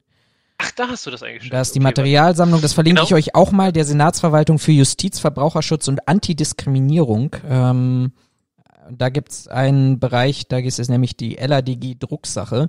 Und die hat im Abschnitt drei die Vermutungsregelung. Und da sind zwei, zwei Worte drin, wo ich an einfach. Warum, hm? Aber warum die, Drucksa warum die Drucksache Weil es noch nicht in dieser Art und Weise, glaube ich, veröffentlicht ist. Es ist noch nicht im Gesetzesblatt erschienen. Deshalb hast du nur den letzten Drucksachenstand, wo es im Senat äh, besprochen wurde, im Abgeordnetenhaus. Du kannst dir auch das Gesetzes- und Verordnungsblatt für Berlin vom 20. Juni darüber angucken. Da hast du dann nämlich das eigentliche Gesetz. Ja, aber jedenfalls Berlin. Äh, Tatsachen glaubhaft gemacht. Also da sind ja zwei Sachen, zwei Wörter drin und ja, wir bräuchten an dieser Stelle. In, in, und doch, es gilt schon, weil es steht unten da, dieses Gesetz wird am, tritt am Tage nach der Verkündung äh, im Gesetzes- und Verordnungsblatt in Berlin in Kraft. Das, die, das oberste Ding, das du öffnen kannst, ist nämlich das Gesetz- und Verordnungsblatt für Berlin, 76. Jahrgang, Nummer 29, 20. Juni. Also seitdem ist es in Kraft oder von mir aus auch seit dem 21. Stimmt. Aber gut, es hat sich auch da nichts getan von der Besprechung. So, aber Tatsachen und glaubhaft. Also Tatsachen sind ja erstmal auch wieder. Ähm, ja, aber Paragraph 7 sagt aus, sagt lediglich aus, dass, ähm, dass man glaubhaft machen muss, dass ich diesen Verstoß quasi erst widerlegen muss. In meinen Augen ist es aber ist eine Aussage einer Person, dass sie diskriminiert wurde, doch schon eine glaubhafte Sache. Weil wenn wir jetzt sagen, naja, nur weil sie das zur Anzeige bringen, müssen sie mir jetzt noch einen Beweis erbringen, dass das auch wirklich so war, das ist ja Quatsch. Also, wie willst du denn ein Gespräch beweisen? Ähm, und vor allen Dingen, wo kommen wir denn dahin, wenn deine Aussage als Person schon nicht mehr mehr glaubhaft ist? Also, ich macht in meinen Augen so keinen ja, sie Sinn. kann ja, also ein Zeugenbeweis ist ja auch ein Beweis, der vor Gericht zugelassen wird in, in dieser Art und Weise. Aber ähm, ja, aber damit, damit schließt sich der Kreis. Sobald du eine Aussage machst, dass äh, ein Polizist, ein Feuerwehrmann, wer auch immer, dich diskriminiert hat, greift Paragraph 7, weil deine Aussage ist eine glaubhafte Tatsache und somit muss der Poliz Polizist widerlegen, dass das wirklich so stattgefunden hat. Also dein, mhm. dein Argument, dein Argument mit, na, der muss ja erstmal einen Beweis erbringen, dass das wirklich so war, bevor man da überhaupt was widerlegen muss, funktioniert ja nicht, wenn meine Aussage schon als glaubhaft gilt. Und das muss sie theoretisch ja, weil sonst kann ich mir die Anzeige wiederum sparen. Und vor allen Dingen geht man ja dann da grundsätzlich davon aus, dass wenn ich was zur Anzeige bringe, im Sinne dieses Gesetzes, ich grundsätzlich lüge. Wenn meine wenn meine Anzeige bzw. meine Aussage zu dieser Anzeige nicht glaubhaft ist. Wenn ich noch einen extra Beweis erbringen muss, würde das ja per se bedeuten, dass ich ein Lügner bin. Und ich da erst klar machen muss, dass es nicht so ist. Ja, aber spätestens vor Gericht muss ich ja sagen, nicht nur ich habe das gesehen, sondern meine fünf Freunde haben das gesehen und übrigens der Deutsche, der mit uns in dieser Gruppe stand, wurde nicht kontrolliert. Also das ist ja eine Aussage, die, die vielleicht auch in bestimmten Bereichen. Ja, aber was machen, was machen denn dann Leute, die alleine von der Polizei aufgegriffen werden? Also dann haben die ja keine Chance dann hast du mit dem Gesetz wiederum nichts gerissen. Was machst du denn, wenn du jetzt rausgehst oder von mir aus um 23 Uhr durch Telto läufst, wo wir alle wissen, dass Telto dann mit Sicherheit nicht die große Partymeile ist? Ah, ähm, sag das die, nicht. Und die Polizei dich da anhält und sagt so, Kollege Schnürschuh, was machen Sie hier, was wollen Sie hier und sehen Sie zu, dass Sie mir den Ausweis zeigen, sonst knüppel ich Sie gleich kaputt. äh, und du beschwerst dich jetzt daraufhin, gut, das ist jetzt ein Berliner Gesetz, kein, kein Brandenburger Gesetz, aber spinnen wir den Fall mal weiter. Ähm, du bringst das zur Anzeige, weil das definitiv eine Diskriminierung, von mir aus auch äh, noch eine Beleidigung war, weil sie da irgendwas ge gezogen haben. Ähm, und man sich jetzt hinstellt, sagt so, ja, alles klar, wir nehmen das zur Anzeige.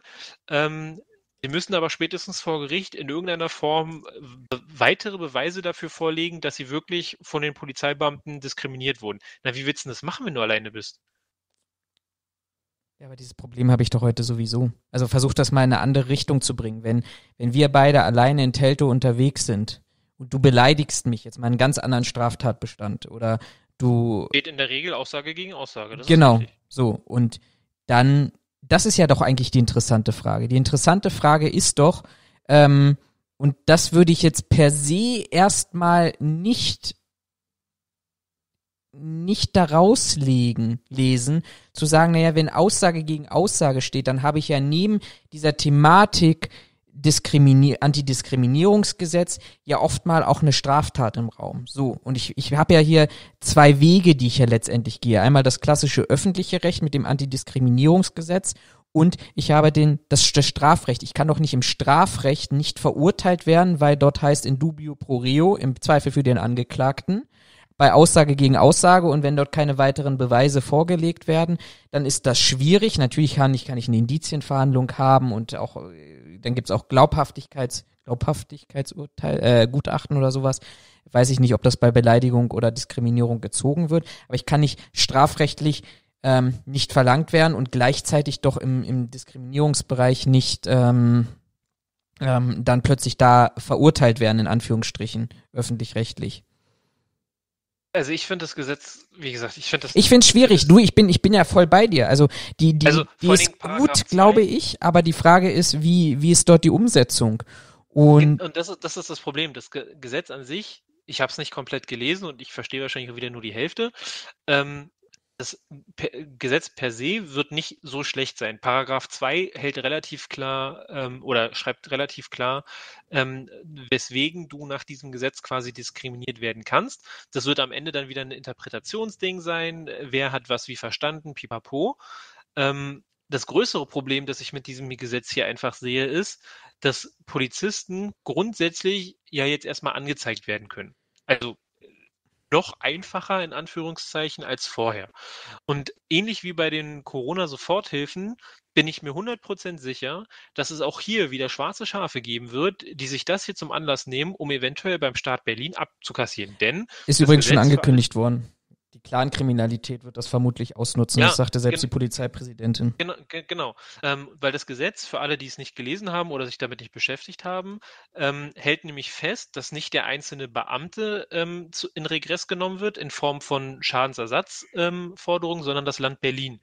Ähm, das ist auch der eigentliche Aufhänger, warum wir darüber sprechen, weil nämlich Bayern aufgrund dieses Gesetzes gesagt hat, na, also wenn wir jetzt hier auch in Regress genommen werden können, wenn wir zu irgendwelchen Risikospielen, Demonstrationen unsere Einsatzkräfte zu euch schicken und wir am Ende dafür zahlen müssen, dass die für euch arbeiten, dann schicken wir keine Leute mehr. Da hatte, hatte Berlin auch gleich gesagt, nein, nein, die einzigen, die nach diesem Gesetz quasi ähm, ja zum Schadensersatz aufgefordert werden können, ist Berlin. Und selbst wenn ein bayerischer, ein hessischer oder sonst welcher Polizist in Berlin seinen Dienst tut in Form von, ich sag mal, Amtshilfe oder Nachbarschaftshilfe, ähm, und es kommt zu einem solchen Fall, dann ist trotzdem das Land Berlin ähm, derjenige, der dann dafür zahlen muss. Was ich, ich hier aber sehe, ist mhm. halt wie bei den Corona-Soforthilfen, ähm, dass jetzt ein Haufen Leute auf die Idee kommen, Polizisten noch und nöcher anzuzeigen, um eventuell ein bisschen Geld aus Berlin abzuzweigen. Punkt eins. Punkt zwei ist, wie du selber schon mal gesagt hast in einem unserer Podcasts, unsere Gerichte ähm, also bei denen ist jetzt nicht der Sommerurlaub ausgebrochen. Ganz im Gegenteil, die sind überlastet noch und nöcher. Und wir schaffen jetzt ein Gesetz, mit dem es grundsätzlich einfacher ist, bestimmte Personen einfach anzuzeigen und auch noch den, ich sag mal, Anreiz schaffen, Berlin Geld abzunehmen. Wer sagt mir denn, dass jetzt nicht mindestens weiß ich nicht, wie viele Fälle da aufkommen, nur um zu versuchen, entweder die Polizei irgendwie ja, zu zu drücken, ja. Geld aus Berlin rauszupressen. Und wer sagt mir, dass diese Fälle sehr schnell abgearbeitet werden? Das ist in meinen Augen in Berlin sagen. überhaupt nicht. Ja, eben. Das ist in meinen Augen in Berlin überhaupt gar nicht machbar. Das heißt, dieses, so gut das Gesetz auch gemeint ist, und ich weiß, dass du für das Gesetz warst, als wir das allererste Mal drüber gesprochen haben, bin ich der Meinung, wird es unsere Justiz noch stärker belasten und am Ende hast du genau das gleiche Problem wie sonst auch. Du hast einen Fall aus 2020 und diesen Fall, äh, mit dem beschäftigst du dich vor Gericht frühestens 2025, wenn du Glück hast. Und das kann doch nicht die, also in meinen Augen ist das doch nicht die, kann das doch nicht mhm. die Realität sein, dass also, ich ein Gesetz erlasse und es dann überhaupt gar nicht ich sag mal, äh, in der Nähe, zeitlich gesehen, in der Nähe des eigentlichen Vorfalls äh, abhandeln kann. Ich muss dich mal, ich muss dich erstmal korrigieren. Ich bin nicht für das Gesetz, sondern ich bin für die Intention des Gesetzes. Ähm, aus zweierlei Gründen.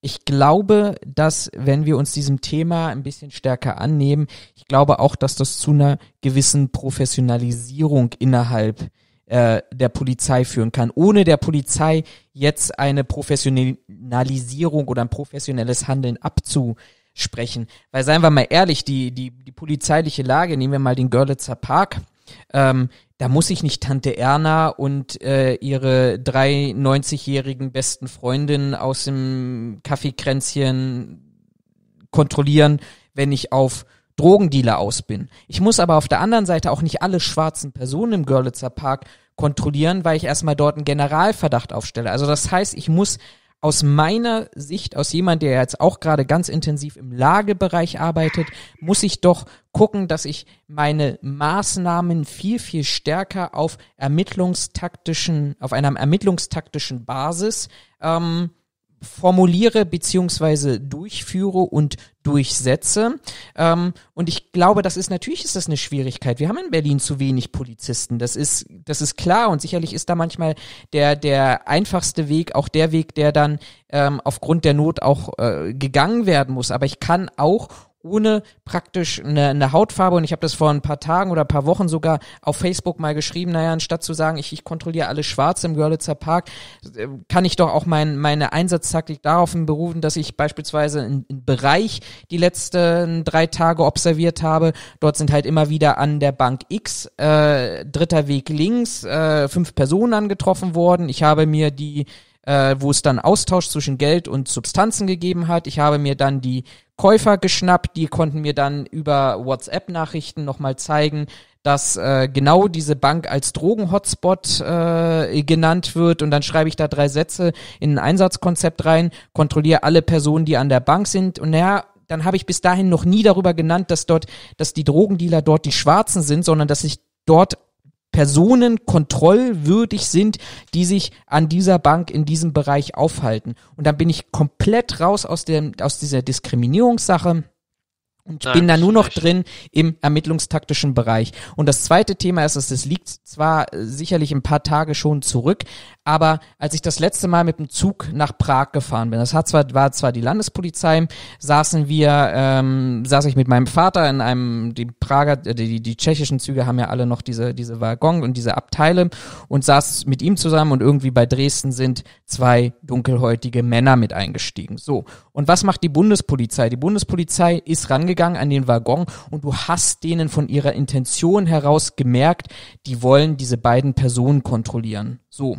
Und ähm, kommen rein und sagen Ausweiskontrolle. Und mein Vater und ich kramen den Ausweis raus und die, die beiden winken schon ab, als sie dann nur gesehen haben, ja, Personalausweis zeigen sie raus. Den wollten sie von uns gar nicht sehen, die wollten von uns keine Personenabfrage machen und haben das komplette Prozedere bei diesen zwei Personen dann, die mit uns in diesem Waggon saßen, durchgeführt. Und da muss ich ganz ehrlich sagen, ähm, das, das, da geht's mir tatsächlich auch ein bisschen, bisschen zu weit und ich muss versuchen, dieses Dilemma irgendwie ein bisschen aufzulösen und deshalb würde ich dich gerne mal fragen, ähm, was du denn von dem Bremer Weg hältst. Also der Bremer Weg geht ja weg, der Bremer Weg oder das Landespolizeigesetz äh, Bremen, was dort gerade diskutiert wird, geht ja weg davon zu sagen, so wie es Berlin macht, Antidiskriminierungsgesetz rein.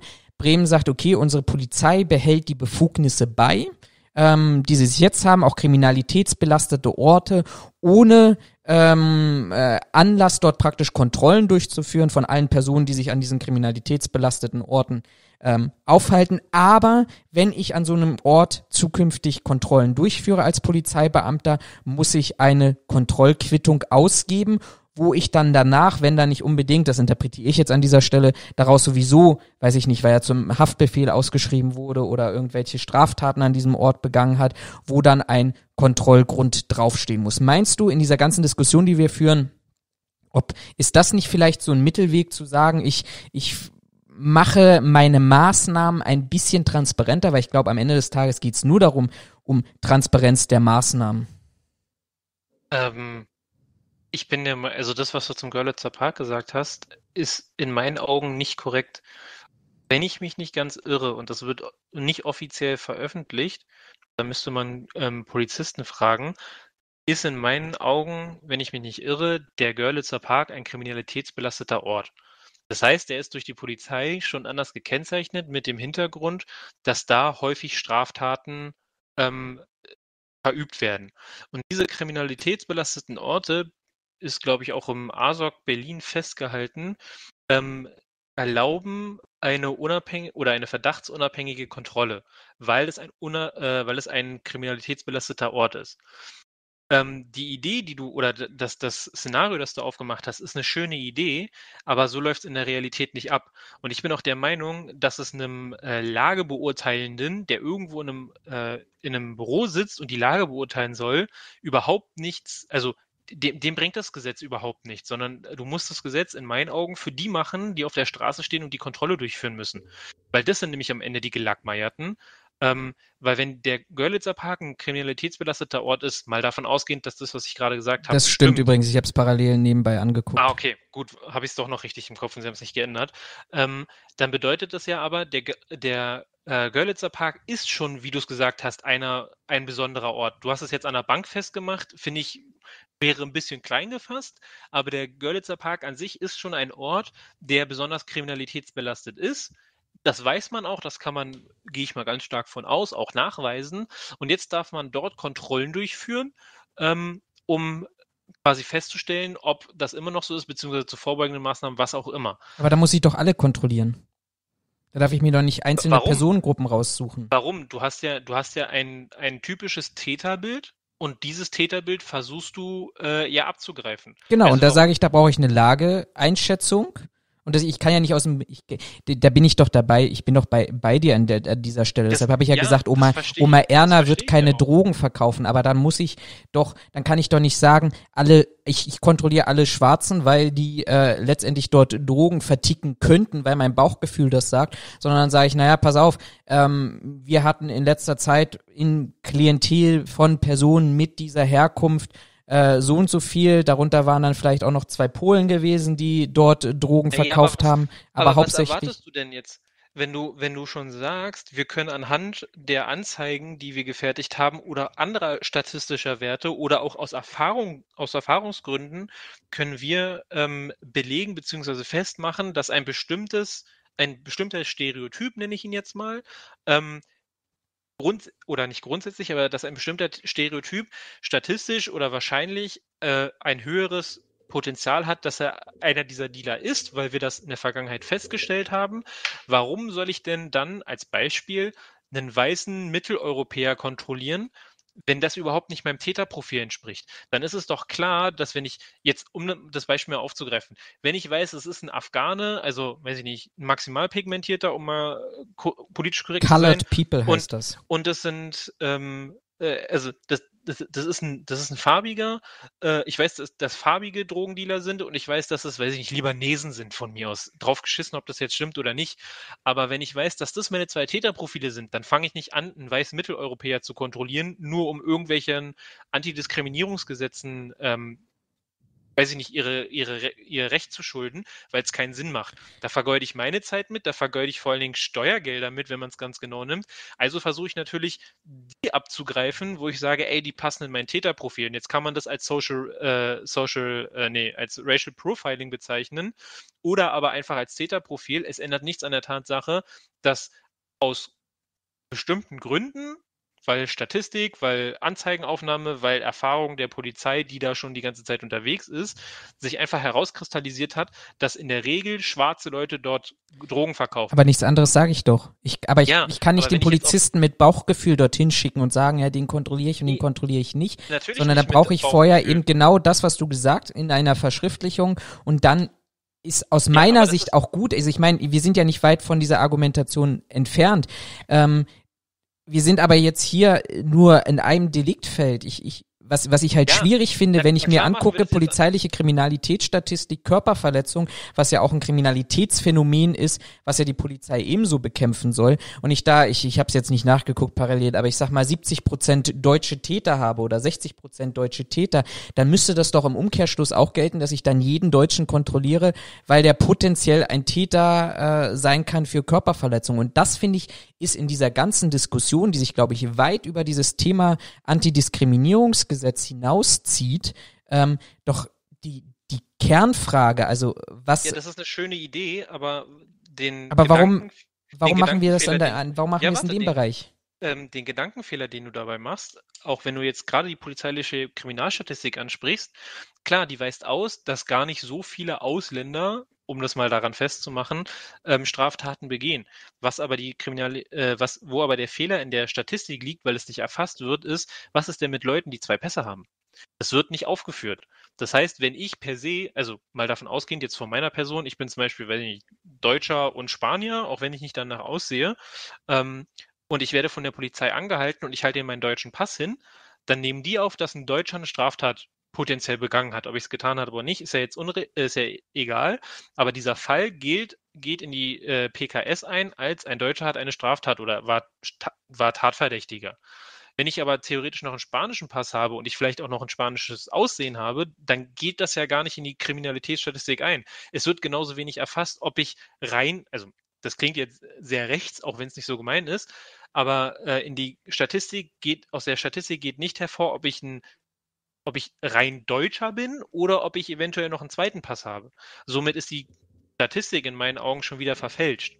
Ob diese, mit Sicherheit sind es Daten, die besonders rechten Gruppen äh, das Feuer noch anheizen würden, gebe ich ihr auch komplett recht, aber es ist trotzdem keine genaue Darstellung von dem Einsatzgeschehen der Polizei in Berlin. Damit hast du halt einfach das Problem, ja klar, sich hinzustellen, zu sagen, meine Erfahrung sagt, das ist ein Schwarzer, der hier Drogen vertickt. Ich kontrolliere den. Der sagt, öh, du kontrollierst nur Schwarze.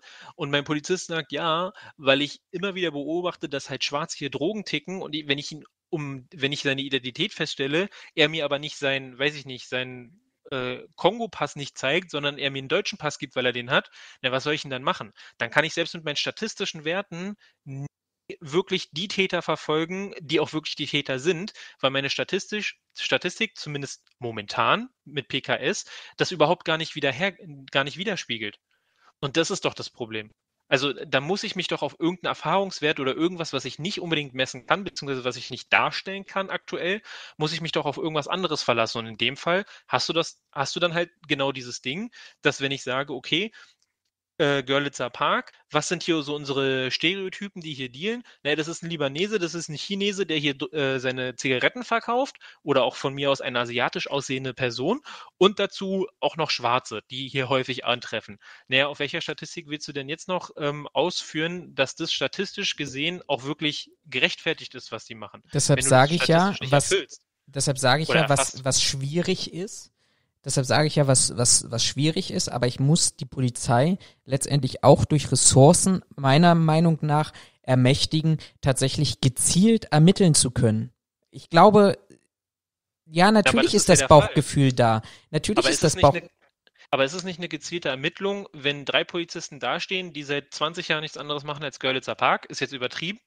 Aber wenn ich da drei Polizisten stehen habe, die seit 30 Jahren Görlitzer Park machen und ich frage die, ey Jungs, wir machen heute mal Kontrolle von Drogendealern, ähm, schaut mal nach.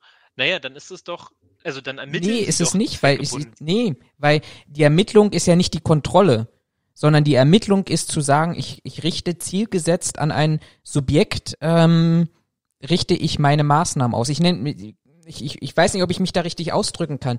Ich meine, ich, ich, ich möchte doch auch nicht, dass die Polizei bei mir an der Tür klingelt und mir die Frage stellt, Sie haben Internetanschluss? Ja. Sie sind Single? Ja. Sie sind männlich? Ja. Sie sind um die 30? Ja. Oh, wir beschlagnahmen mal Ihren PC, weil Sie zumindestens laut unserer Statistik und unserer Erfahrungswerte in das Tatmuster jemanden reinpassen, der äh, Kinderpornos äh, und Deutscher vielleicht auch noch, der Kinderpornos äh, auf seinem Laptop hat. Wir beschlagnahmen einfach mal Ihren PC und ich glaube, diese ganze diese ganze Thematik, ich bin ich, ich Bauchgefühl, Ermittlungs Erfahrung oder ähnliches wird, glaube ich, zumindestens für mich genau an diesen Beispielen wird das einfach obsolet, weil ich glaube, wenn jeder von uns in dieser Situation selber drin ist, dass die Polizei klingelt, weil du als Deutscher diesmal vielleicht irgendwie in das Profil irgendeiner anderen Straftat reinfällst, ich weiß nicht, ob wir das so gut fänden würden an dieser Stelle oder nicht auch danach rufen würden und sagen würden, ja, nur gut, ich passe vielleicht in ihre Statistik rein. Das mag ich an dieser Stelle vielleicht mal annehmen, aber ähm, welche Beweise haben sie denn gegen mich? Also auf welcher Basis führen sie das denn durch? Und da würden wir jetzt, glaube ich, keiner von uns damit zufrieden geben, wenn wir sagen, na ja, das ist, äh, das ist Erfahrung. Da, da sind wir, glaube ich, ganz, ganz stark in, in dem US-amerikanischen Bereich, wo es ja letztendlich viele dieser Sachen, die in den letzten Wochen passiert sind oder grundsätzlich seit Jahren passieren, genau diese, diese Argumentation treffen. Ähm, weiß, also ich glaube, ich glaube nicht, dass das so laufen würde, einfach mit dem Hintergrund, dass man in meinen Augen zwischen einem Bauchgefühl und einer Erfahrung, einer dienstlichen Erfahrung unterscheiden muss. Das ist ähnlich wie bei uns. Du gehst ja auch nicht äh, in, weiß ich nicht, zum Beispiel in einen Laden rein und denkst dir, okay, hier ist sowieso alles scheiße. Ähm, per se machen wir jetzt hier sicherheitstechnisch alles neu und alles von Anfang mit sofort neuem Dienstleister, sondern du gehst aus Erfahrung heraus ja auch in den Laden rein, guckst dir an, was quasi der Ist-Bestand ist, lässt dir Informationen dazu geben und sagst, alles klar, mit meiner Erfahrung kann ich abschätzen, dass das und das hängen bleiben kann, das müssen wir leicht anpassen und ansonsten sind wir hier tippitoppi aufgestellt.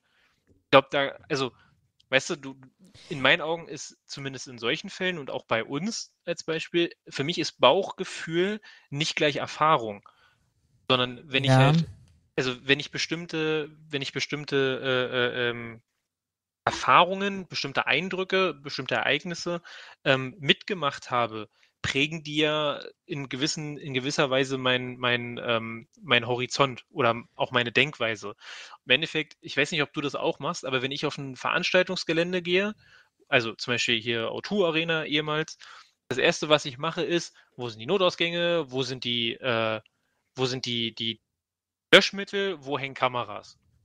Nicht, weil ich mich, weil ich Angst davor habe, irgendwie, dass mir was passiert oder ich mich besonders sicher fühlen will, sondern einfach aus der Erfahrung oder aus dem Trott heraus, du kümmerst dich sowieso immer um so eine Scheiße, guckst dir das mal an, wie das hier ist. Also du schaffst quasi einen neuen Erfahrungswert, um damit dann arbeiten zu können. Und ich finde, das ist bei der Polizei hier das Gleiche. Also ich glaube nicht, dass ein Polizist auf die Idee kommt von wegen, ey, da hinten läuft ein Schwarzer, den kontrollieren wir jetzt mal, weil meine Nase juckt gerade und immer wenn meine Nase juckt, kriege ich einen Dealer.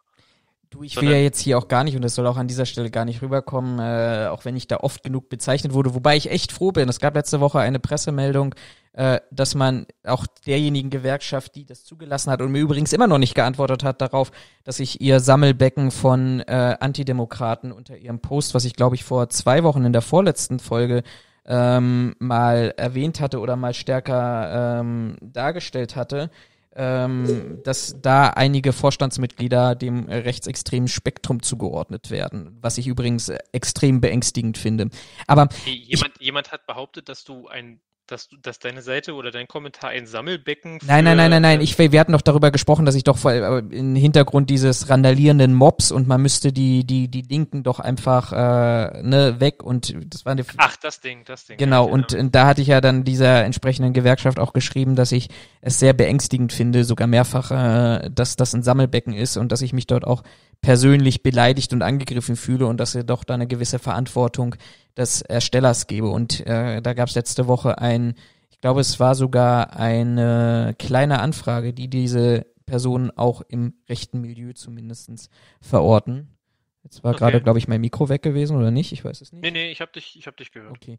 Ähm, aber du, ich bin doch bei, ich bin doch bei dir, um mal jetzt nicht nur die ganze antifaschistische Seite hier auszuleben, sondern auch ähm, da das, das Positive rauszuziehen. Wir brauchen doch, und das ist ja so ein bisschen auch dieser, dieser Kern der Diskussion, ich bin sehr, sehr froh, dass du nicht wie die, wie, wie viele andere vielleicht, die in dieser Diskussion ähm, beigewohnt haben in den letzten Wochen, dann sagt, ja, du bist ja Anti-Polizei. Also ich glaube, man kann für die Polizei sein, für eine starke Polizei, aber dennoch bestimmte Aspekte kritisieren ich bin ja auch dafür, weil letztendlich, du hast es ja gerade eben beschrieben, wir machen es doch auch nicht anders. Wir gehen von unserem Bauchgefühl aus und die Wissenschaftlichkeit, die wir in vielen Themen haben, und da muss man ja nur über subjektive Sicherheit sprechen, wenn die anders ist als objektive Sicherheit, dann machen wir ja trotzdem in unseren Bereichen etwas. Da kommen wir ja nicht um die Ecke und fangen dann an zu diskutieren und zu sagen, das ist rausgeschmissenes Geld, weil du dich jetzt hier unwohl fühlst äh, und die objektiven Zahlen das nicht wiedergeben. Also da bin ich ja bei dir. Die Frage ist ja nur,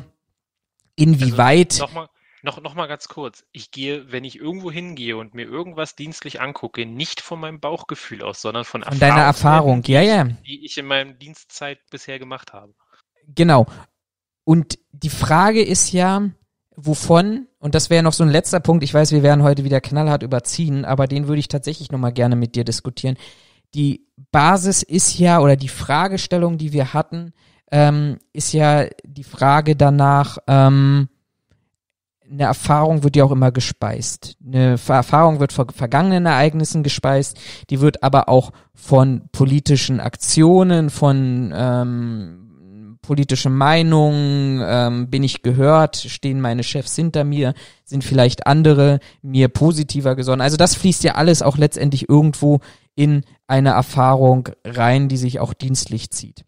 Ähm, die Frage ist halt an dieser Stelle, und das ist sicherlich auch ein Thema, womit ich vielleicht den einen oder anderen Zuhörer aber auch nerve, aber die Frage ist doch, wir haben in den letzten 24 Monaten ähm, so viele Ereignisse gehabt, wo aus der Polizei heraus Netzwerke publik wurden, ähm, wie Nordkreuz, wo SEK-Beamte mit involviert waren, die dann auch Munition abgezweigt haben und praktisch sich auf den Tag X vorbereitet. Und da schwirrt ja immer noch diese Thematik Todeslisten von, ähm, von Politikern mit rum. Wir hatten die Frage nach dem NSU, wo bis heute nicht geklärt ist und vermutlich nie geklärt wird, inwieweit die Sicherheitsbehörden dort Kenntnis hatten, beziehungsweise die Morde hätten verhindern können. Der Generalstaatsanwalt hat jetzt den Anschlag des Rechtsextremisten auf dem Oktoberfest in, ich glaube, das waren die 80er Jahre, ähm, jetzt eingestellt, obwohl die Ermittlungen noch offen sind, wie wie viel wusste die Polizei dort? Wir haben NSU 2.0, wo aus dem Frankfurter Polizeirevier heraus Drohfaxe an eine NSU-Anwältin geschickt wurden, mutmaßlich von Polizisten, wobei bei dieser Ermittlung auch äh, ein, ein rechtsextremes Netz, eine rechtsextreme WhatsApp-Gruppe geöffnet wurde, äh, festgestellt wurde, wo eben auch solche Sachen publik wurden. Wir hatten jetzt die Gruppe S in NRW letztes Jahr, wo Polizeibeamte ähm, tatsächlich ja ähm, auch im, im rechtsextremen Milieu unterwegs waren und sich auch dort auf den Tag X vorbereitet haben. Wir haben in Sachsen Polizeischüler, die suspendiert wurden und, und letztendlich auch rausgeschmissen wurden, ähm, die ähm, in ihrer Freizeit äh, den Hitlergruß zeigen und rechtsextremistische Musik hören. Also das alles sind ja für mich zumindestens, weshalb ich auch so sensibel mit diesem Thema umgehe, weil ich mich schon frage, welche Einstellung, welche Motivation gibt es in Teilen der Polizei? Und ich will auch gar nicht sagen, diese, diese Motivation betrifft alle Polizeibeamte. Um Gottes Willen, das will ich gar nicht sagen, aber wir hatten die Diskussion auch gehabt, ähm, im Rahmen der Migrationskrise, wo auch die Frage gestellt wurden, naja, wie viel Polizeibeamte wählen denn die AfD, die vielleicht sich in vielen Bereichen auch antidemokratisch verhält und zumindest im Land Brandenburg jetzt vom Verfassungsschutz beobachtet wird. Und das ist ja ein ganz, ganz großes Fragezeichen. Und wenn dann ein Horst Seehofer als oberster Polizeichef eine vom, von der EU angeratene Studie zu Racial Profiling innerhalb der Polizei in Deutschland untersagt, ähm, mit der Begründung, naja, Racial Profiling ist per Gesetz verboten, also findet das in der Polizei nicht statt und das Rest ist maximal Ausnahmen und der Bund deutscher Polizeibeamte, nee, Krimin, der, der Bund deutscher Kriminalbeamte, Entschuldigung, der Bund deutscher Kriminalbeamte sich äh, Kopfschilder hinstellt und sagt, also Horst Seehofer ist so fern jeglicher Realität, dann, dann will ich gar nicht jedem irgendwie ein, ein irgendetwas vorwerfen, unterstellen, ähm, ähnliches, aber auf der ich, ich, ich weiß nicht, auf welcher, vielleicht verstehst du das und kannst vielleicht auch gegenargumentieren. Ich hoffe, wir wollen ja auch ein bisschen hier in den Diskurs gehen. Ähm, ich kann nicht zu 100 Prozent wissen oder auch nachvollziehen, ob die Erfahrung wirklich, die ein Polizist für eine Maßnahme plant, vor allem, ich sag mal, gegen Ausländer in Anführungsstriche, ob das wirklich frei demokratisch Basis seiner Erfahrung von Ermittlungen oder von Statistiken oder ähnlichem ist oder ob nicht tatsächlich ähm, im Rahmen dieser ganzen ähm, Themen, die da aufgeploppt sind, vielleicht auch andere politische Motivationen drin sind. Und ich glaube, das ist ja eigentlich das ganz große Ziel des schlecht gemachten Landesantidiskriminierungsgesetzes von Berlin. Ich, du, ich sehe das genauso wie du. Also, dass sich ein ähm, Bundesinnenminister hinstellt und sagt, na, Racial Profiling ist per se verboten, deswegen gibt es das bei uns auch nicht ähm, und damit quasi den Weg verhindert, wirklich einfach mal wissenschaftlich nachzuprüfen, äh, die Polizei oder von mir aus auch Bundeswehr, da haben wir ja genauso Fälle gehabt, wie es da bestellt ist, finde ich genauso schlimm wie du. Also, Vor allem das Ergebnis könnte ja auch sein, in der Polizei gibt's das nicht. Und dann hat er, dann haben wir es schwarz auf weiß in dieser Studie und dann wären wir wirklich völlig weg von dieser Diskussion. Ja, ich glaube, also meine, meine Einschätzung, meine persönliche Einschätzung ist, dass du solche Tätergruppen oder solche Gruppen sowohl in der Polizei als auch in der Bundeswehr hast. Ganz klar. Also das haben in meinen Augen die letzten Enthüllungen auch gezeigt, dass es da solche Tendenzen und von mir aus, also nicht nur Tendenzen, sondern mit Sicherheit auch feste Gruppen gibt, die, ähm, ich sag mal, für einen, für einen Staatsdiener in meinen Augen äh, falsche äh, ja, falsche Gedanken beziehungsweise äh, eine, äh, eine falsche äh, Richtung eingeschlagen haben. Ich gehe fest davon aus, dass es die gibt. Jetzt kann man scherzhaft sagen, ist ja auch ein Querschnitt der Gesellschaft. Ich glaube aber eher, ähm, dass man mit dieser Studie feststellen müsste, ähm, ob das jetzt der Fall ist, ja oder nein. Und wenn man zu dem Ergebnis kommt, ja, das ist der Fall, wir haben rechte Probleme in Polizei, in, weiß ich nicht, Feuerwehr, Bundeswehr, wem auch immer, ähm, dass man dann halt auch erörtern müsste, okay, warum habe ich denn diese Probleme? Also es ist ja nicht so, also oder ich gehe stark davon aus, oder meine, meine Intention ist, du kommst ja nicht auf die Welt, wirst rechts erzogen, denkst dir, geil, ich gehe zu der Polizei, weil dann kriege ich eine Knifte. Da gibt es mit Sicherheit auch ein paar Pfosten, die das genauso sich vorstellen und auch äh, dann genauso handhaben.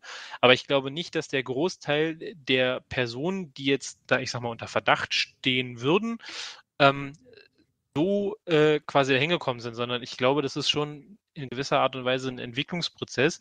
Und das bedeutet ja eigentlich immer in der Regel, dass ähm, irgendwas von dem laufenden System Person, ich sag mal, so enttäuscht oder ähm, ja so frustriert, dass sie ihre Meinung in irgendeine Richtung ändern. Also es kommt ja nicht von ungefähr. Ähm, und ich glaube, da müsste man dann halt den Fokus drauf legen. Wie gesagt, ich sage nicht, dass die Polizei komplett rechtschaffend ist. Es gibt überall schwarze Schafe, auch bei denen. Ähm, ich finde es auch gut, dass das entdeckt wird, beziehungsweise auch aufgedeckt wird und dass man in meinen Augen noch zu wenig dagegen tut, weil gerade bei Polizei in meinen Augen das überhaupt nicht dahin passt, dass ich Leute habe, die rechtsextrem sind oder die von mir aus rechts eingestellt sind, wie auch immer. Ähm, jeder darf seine Meinung haben, aber als Staatsdiener muss ich nun mal einfach einer gewissen Richtung folgen und da kann es nicht sein, dass sie sich hinstellen und am besten noch staatszersitzend sind. Das funktioniert in meinen Augen nicht. Ähm, da müsste man auf jeden Fall was machen und ich finde auch, dass Horst Seehofer da definitiv den falschen Weg geht und, zu, äh, und sagt, nee, wir machen so eine, ähm, so eine Studie nicht. Mit Sicherheit nicht, weil er, also klar, offiziell sagt er, weil es ein Gesetz gibt, das es verbietet, das heißt, das ist nicht unser Problem. Ähm, ich glaube aber viel eher, dass er einfach die große Angst hat, dass in dieser Studie rauskommen wird, ähm, dass es rechte Tendenzen oder rechte Gruppen in verschiedenen ähm, Staatsbehörden oder in verschiedenen Behörden gibt und dass er dann einfach ein großes Problem hat und das will er halt nicht wahrhaben. Ähm, von daher, ähm, ja, wie gesagt, also ich bin dafür, lasst uns diese Studie machen. Ähm, alle über einen Kamm scheren hatten wir ja schon, äh, ist halt nicht der richtige nee, Weg. bin ich ja auch nicht dafür. Nee, nee, war jetzt auch so nicht gemeint. Ähm, man müsste, wie gesagt, in meinen Augen dann aber halt auch einfach erörtern, wo kommt dieses Problem her? Was ist die Ursache? Weil Genau. nur die Symptome bekämpfen, wie in der Medizin, bringt mir halt nichts, wenn ich nicht weiß, was die Krankheit verursacht. Ähm, und ich glaube, das, das müsste man dann halt nachgelagert anschließen. Und ich glaube, das wird ziemlich wenig gemacht dass man wirklich sich mal vernünftig damit beschäftigt, okay, auch bei der Bundeswehr jetzt, ja, wir wollen den Fall aufarbeiten. Wie konnte es sein, dass der durchgerutscht ist? Ja, mag ja sein, dass der diese Tendenzen vorher schon hatte oder dieses Gedankengut. Was machen wir denn aber mit Leuten, die sich innerhalb der Bundeswehr radikalisiert haben, aufgrund irgendwelcher Missstände, aufgrund irgendwelcher, weiß ich nicht, falschen Dienstvorschriften oder was auch immer. Also diese Ursachenforschung wird in meinen Augen zu wenig betrieben, um dieses Problem, diesem Problem Herr zu werden. Finde ich sehr, sehr schade könnte im Hinblick auf die Zeit unser Fazit hier raus aus dieser Diskussion sein, dass wir sagen, auch hinsichtlich des Antidiskriminierungsgesetzes oder der anderen Bestrebungen, die gerade durchgeführt werden, dass wir erst die Schuhe angezogen haben und dann die Hose, dass wir heute eigentlich gar nicht wissen, einfach weil es keine äh, Studien gibt. Wir könnten jetzt nochmal ausführen, dass nach 70 Jahren jetzt äh, im letzten Jahr das erste Mal an der Uni Bochum, glaube ich, eine Studie in Auftrag gegeben wurde zu Polizeigewalt in Deutschland, weil man auch dieses Thema ja 70 Jahre lang nicht angefasst hat.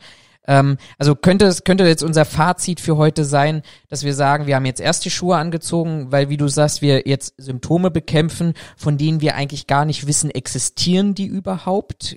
Gibt es die überhaupt in in, innerhalb der Polizei und dass man vielleicht sinnvollerweise hätte rangehen können und sagen sollen, okay, wir, wir ähm, schauen uns erstmal an, welche Tendenzen haben wir, wissenschaftlich, extern, unabhängig. Das wäre ja auch noch ein Punkt, aber das, dieses Fass will ich ja gar nicht aufmachen. Was passiert denn eigentlich, wenn die Polizei gegen die Polizei ermittelt? Ähm, ist da nicht viel sinnvoller, einen Polizeibeauftragten zu haben, der unabhängig von sämtlichen Mhm. Abhängigkeitsverhältnissen, auch Staatsanwaltschaft und Polizei sind ja in, in gewisser Form abhängig. Ähm, aber das, das Fass will ich heute Abend gar nicht mehr aufmachen, aber dass wir vielleicht gesagt, dass es vielleicht sinnvoll gewesen wäre, auch für den Berliner Weg zu sagen, okay, jetzt gucken wir doch erstmal, ob wir ein Problem haben, entwickeln daraus Maßnahmen, ähm, dass wir letztendlich PDCA-Zyklus ist ja der, der, der Klassiker, dass ich auch regelmäßig überprüfe anhand von bestimmten Mechanismen, Radikalisierungstendenzen, Hinweismanagement etc., ähm, dass ich gucke, selbst wenn ich jetzt kein Problem habe, dass ich das auch in der Zukunft nicht bekomme und erst wenn ich ein Problem hätte, dass ich dann vielleicht eine bessere Rechtsgrundlage, Gesetze geschaffen hätte, die das alles verhindern sollen? Ähm, würde ich dir durchaus zustimmen, ja. Also das Problem wird mit Sicherheit nicht von Anfang an so gewesen sein, dass wir erst Schuhe und dann Hose angezogen haben. Aber das ist halt ähm, wie so oft, wenn man bestimmte Missstände einfach eine Zeit lang nicht beobachtet, dann äh, vers äh, verselbstständigen die sich. Und ja, ich würde dir durchaus zustimmen, dass man da einfach lange Zeit weggeguckt hat und jetzt einfach vor einem massiven Problem steht. Würde ich dir zustimmen. Sehr So. schön, dann war's Und das. bevor wir, warte, warte, nein, nein, nein. nein. Und bevor wir jetzt Feierabend machen, ähm, noch die schnelle Anekdote, die ich vorhin schon versprochen hatte. Ähm, geht relativ schnell und soll euch nicht verärgern, sondern in erster Linie euch nochmal, ich sag mal, ein Lachen über die deutsche Bürokratie äh, auf die Lippen zaubern. Und zwar, meine Schwester ähm, besitzt äh, drei wundervolle Töchter. Zwei davon sind noch sehr, sehr jung. Also die sind, ich sag mal, Kleinkindalter, so die müssen von den Eltern betreut werden. Das ist wichtig zu wissen. Meine Schwester ist aktuell auch mit dem vierten Kind schwanger. Das ist auch nochmal wichtig zu wissen für die Story. Jetzt ähm, hatte meine Schwester vor, eigentlich in den Urlaub zu fahren. Ähm, und jetzt hatte ich ihr dann, ähm, ja, wie es unter Geschwistern so ist, ihr geschrieben, schönen Urlaub, fahrt vorsichtig, pipapo. Kam von ihr eine Sprachnachricht zurück mit, nein, ich fahre nicht in den Urlaub. Ähm, ich bin momentan in meinem Garten, der ist ein bisschen außerhalb von Berlin und ich muss jetzt zurück nach Berlin fahren, denn das Gesundheitsamt hat mich angerufen, es gibt einen Verdachtsfall in der Kita meiner zwei jüngsten Kinder. Ähm, einen Corona-Verdachtsfall und die beiden kleinen Kinder stehen jetzt unter Quarantäne und müssen zu einem Corona-Test. Der erste Witz an der Sache ist, die beiden kleinen Kinder, ähm, die unter fünf Jahre sind, stehen unter Quarantäne. Der Rest der Familie, der zu Hause wohnt, also Mutter, Vater und äh, quasi dritte Tochter, ähm, stehen nicht unter Quarantäne. Das ist der erste Witz. So, meine Schwester war dann heute bei dem, äh, beziehungsweise meine Frage war dann, aha, und warum nur die, warum nicht die ganze Familie? Ja, ist so nicht vorgesehen. Ähm, meine Schwester hat dann auch gefragt, naja, wie, wie stellen Sie sich das denn vor, ähm, dass die jetzt unter Quarantäne stehen und wir nicht? Also auch so wegen Testen. Hieß es, naja, sie sind ja kein Verdachtsfall, deswegen werden auch nur die zwei Kinder getestet. Wo meine Schwester schon meinte, aha, ist ja interessant, das sind meine zwei Töchter, ich lebe in einem Haushalt mit denen, das macht keinen Sinn. Woraufhin man ihr vom Amt wohl sagte, naja, halten Sie halt anderthalb Meter Abstand zu Ihren Kindern, dann ist das alles schon nicht so schlimm. Wo ich mir denke, klar, ein Kind, das teilweise noch nicht mal selbst vollständig laufen kann, das du also teilweise tragen musst und damit in deinem Gesicht hängt, um das mal so zu überspitzen, zudem hältst du mal 1,50 Meter Abstand und das Kind wird sich schon selbst versorgen. So, meine Schwester war dann heute beim Amt, um äh, diesen Test durchzuführen, nachdem sie wieder nach Berlin gefahren ist. Und die Dame vom Amt sagte ihr dann, als sie auftauchte, ach so, sie waren gar nicht in Berlin. Na, warum haben sie den Test denn nicht da gemacht, wo sie sowieso schon waren, als wir sie angerufen haben? Wäre ja für ihre Kinder auch viel besser gewesen. Die hätten ja da an der frischen Luft sein können. Jetzt müssen sie in der stickigen Wohnung sitzen. Wo meine Schwester schon meinte, das ist doch nicht euer Scheiß Ernst, dass ihr es innerhalb der Behörde nicht hinbekommt, ähm, festzustellen, ob ich in Berlin zum Test muss oder woanders zum Test fahren kann. Das war Punkt eins. Ähm, Fest steht jetzt, also der Test wurde jetzt gemacht. Der Test, das Testergebnis wird frühestens Freitag ähm, äh, äh, zur Verfügung stehen. Ähm, bis dahin haben die beiden Kinder Quarantäne, Vorschrift durch die Behörde, die anderen nicht. Und wie das ja in Berlin so ist, um zu kontrollieren, ob die Quarantäne auch durchgeführt wird, ähm, gibt es sogenannte Nachverfolgungsanrufe durch das Gesundheitsamt.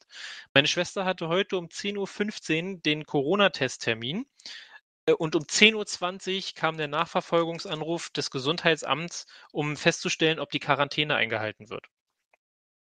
Da kann man jetzt drüber lachen oder man stellt sich echt die Frage, was bei den Leuten da äh, verkehrt läuft. Ähm, und ich habe zu meiner Schwester gesagt, weil, wie gesagt, sie wird nicht getestet, ihr Mann wird nicht getestet und das dritte Kind wird nicht getestet, obwohl die alle in einer häuslichen Gemeinschaft leben, ähm, habe ich für mich festgestellt, dass wir mit dieser Art und Weise das Coronavirus niemals eingedämmt bekommen. Weil es kann ja nicht sein, dass wenn du einen Verdachtsfall innerhalb der Familie hast, nicht mal die nächsten Angehörigen, also die, die in einem Haus zusammenwohnen, mitgetestet werden, weil die sind ja jetzt nach, behördlicher, nach behördlichem Verständnis keine Risikofälle, sind also auch nicht unter Quarantäne und damit können sie das Virus potenziell ja überall hin weiter verbreiten, weil sie sich ja an nichts halten müssen, bis auf die normalen Abstandsregeln, ja. sage ich jetzt mal. Das heißt, es ist ja, du hast jetzt äh, in einem Haushalt mit insgesamt fünf Personen, zwei, die nicht mehr raus dürfen und drei potenzielle Träger, die das überall hinstreuen. Bei einer Reproduktionsrate von, keine Ahnung, 0,6 oder 1 von mir aus, kannst du dir jetzt mal überlegen, wie schnell die Scheiße in der halben Stadt verbreitet wird, weil das Gesundheitsamt sagt, ne, die wohnen in einem Haus oder in einer Wohnung, ne, die müssen nicht getestet werden, die sind ja kein Verdachtsfall. Und vor allem, wer da nicht mit, mitdenkt, sondern das einfach dann sagt, jo, ist in Ordnung so, der ist, hat dann die Arschkarte für alle gezogen. Genau, also fand ich, fand ich sehr witzig. Ich bin mal gespannt, was die, äh, was die weitere Erzählung ähm, da so bringen wird. Ähm, von der Theorie her, also es steht auch noch nicht mal fest, ab welchem Zeitpunkt man dann die Kontaktrückverfolgung macht. Ob das jetzt quasi mit dem Anruf des Gesundheitsamtes war, was gestern war, also 7.7., oder ob man sagt, naja, Kita war am 1.7. als Beispiel, wir machen die Kontaktrückverfolgung ab dem 1.7. Was ja schon relativ schwer wird, weil erzähl du mir mal, mit wem du dich alles am, oder wo du überall am 2.7. warst. Corona-App. Ja, habe ich aber nicht. Ähm, bin ich noch nicht zugekommen, die zu installieren. ähm, aber äh, also trotzdem kann ich so per se nicht nachvollziehen erstmal, ähm, wo ich überall in den letzten sieben Tagen war, beziehungsweise ich werde mich mit Sicherheit nicht an jede Station erinnern und das macht es grundsätzlich ja schon sehr, sehr schwierig, finde ich. Von daher, das war quasi so eine lustige Anekdote, wie das Gesundheitsamt in Berlin arbeitet. Finde ich sehr schade. Ich hatte eigentlich erwartet, nach drei Monaten äh, Corona-Pandemie ähm, wäre man da schon ein Stück weiter und hätte Prozesse vielleicht mal kritisch hinterfragt und überarbeitet. Offensichtlich macht man das nicht. Von daher, stellt euch darauf ein, wir tragen diese Masken noch eine Weile länger. Von daher bleibt mir an dieser Stelle auch tatsächlich nicht viel übrig, als euch äh, zu wünschen, dass ihr gesund seid und bleibt, hoffentlich. Wenn nicht, habt ihr jetzt ganz, ganz, ganz viel Zeit, 14 Tage lang, alle unsere Podcast-Folgen, die ihr auf YouTube, Spotify, Apple Music, äh, Google Podcast und sonstigen kleinen Nischenbereichen äh, findet, anzuhören. Ähm, lasst einen Kommentar da, lasst uns ein Like da, gebt uns einen Daumen hoch, folgt uns, wo immer man uns folgen kann. Und äh, das letzte Wort gehört Raphael. Ja, vielen Dank fürs Zuhören. Ist wieder ein bisschen länger geworden, sorry. Ähm, hinterlasst uns eine Kommentare, ähm, hört uns und vor allen Dingen schreibt uns, wenn ihr jetzt alle 14 Podcasts hört, gerne zu jedem Podcast 14? eine. Wir sind bei 22 plus, glaube ich, drei oder vier Sonderfolgen. Hast du nicht gerade. Ah, nee, du hast. Du 14 hast Tage. gerade 14, 14, Entschuldigung. Äh, 14 Tage. Hört gerne unsere 22 Podcasts und schreibt uns zu jedem einen Kommentar, damit wir uns äh, voller Vorfreude auf diese Kommentare stützen können. Ansonsten einen schönen Tag, schönen Abend, schlaft gut ähm, oder habt ein schönes Wochenende, je nachdem, was auf euch zutrifft. Und dann hören wir uns in äh, gut zwei Wochen wieder mit den nächsten Themen. Macht's Perfekt. gut. Mach's gut, bis dann. Ciao, ciao.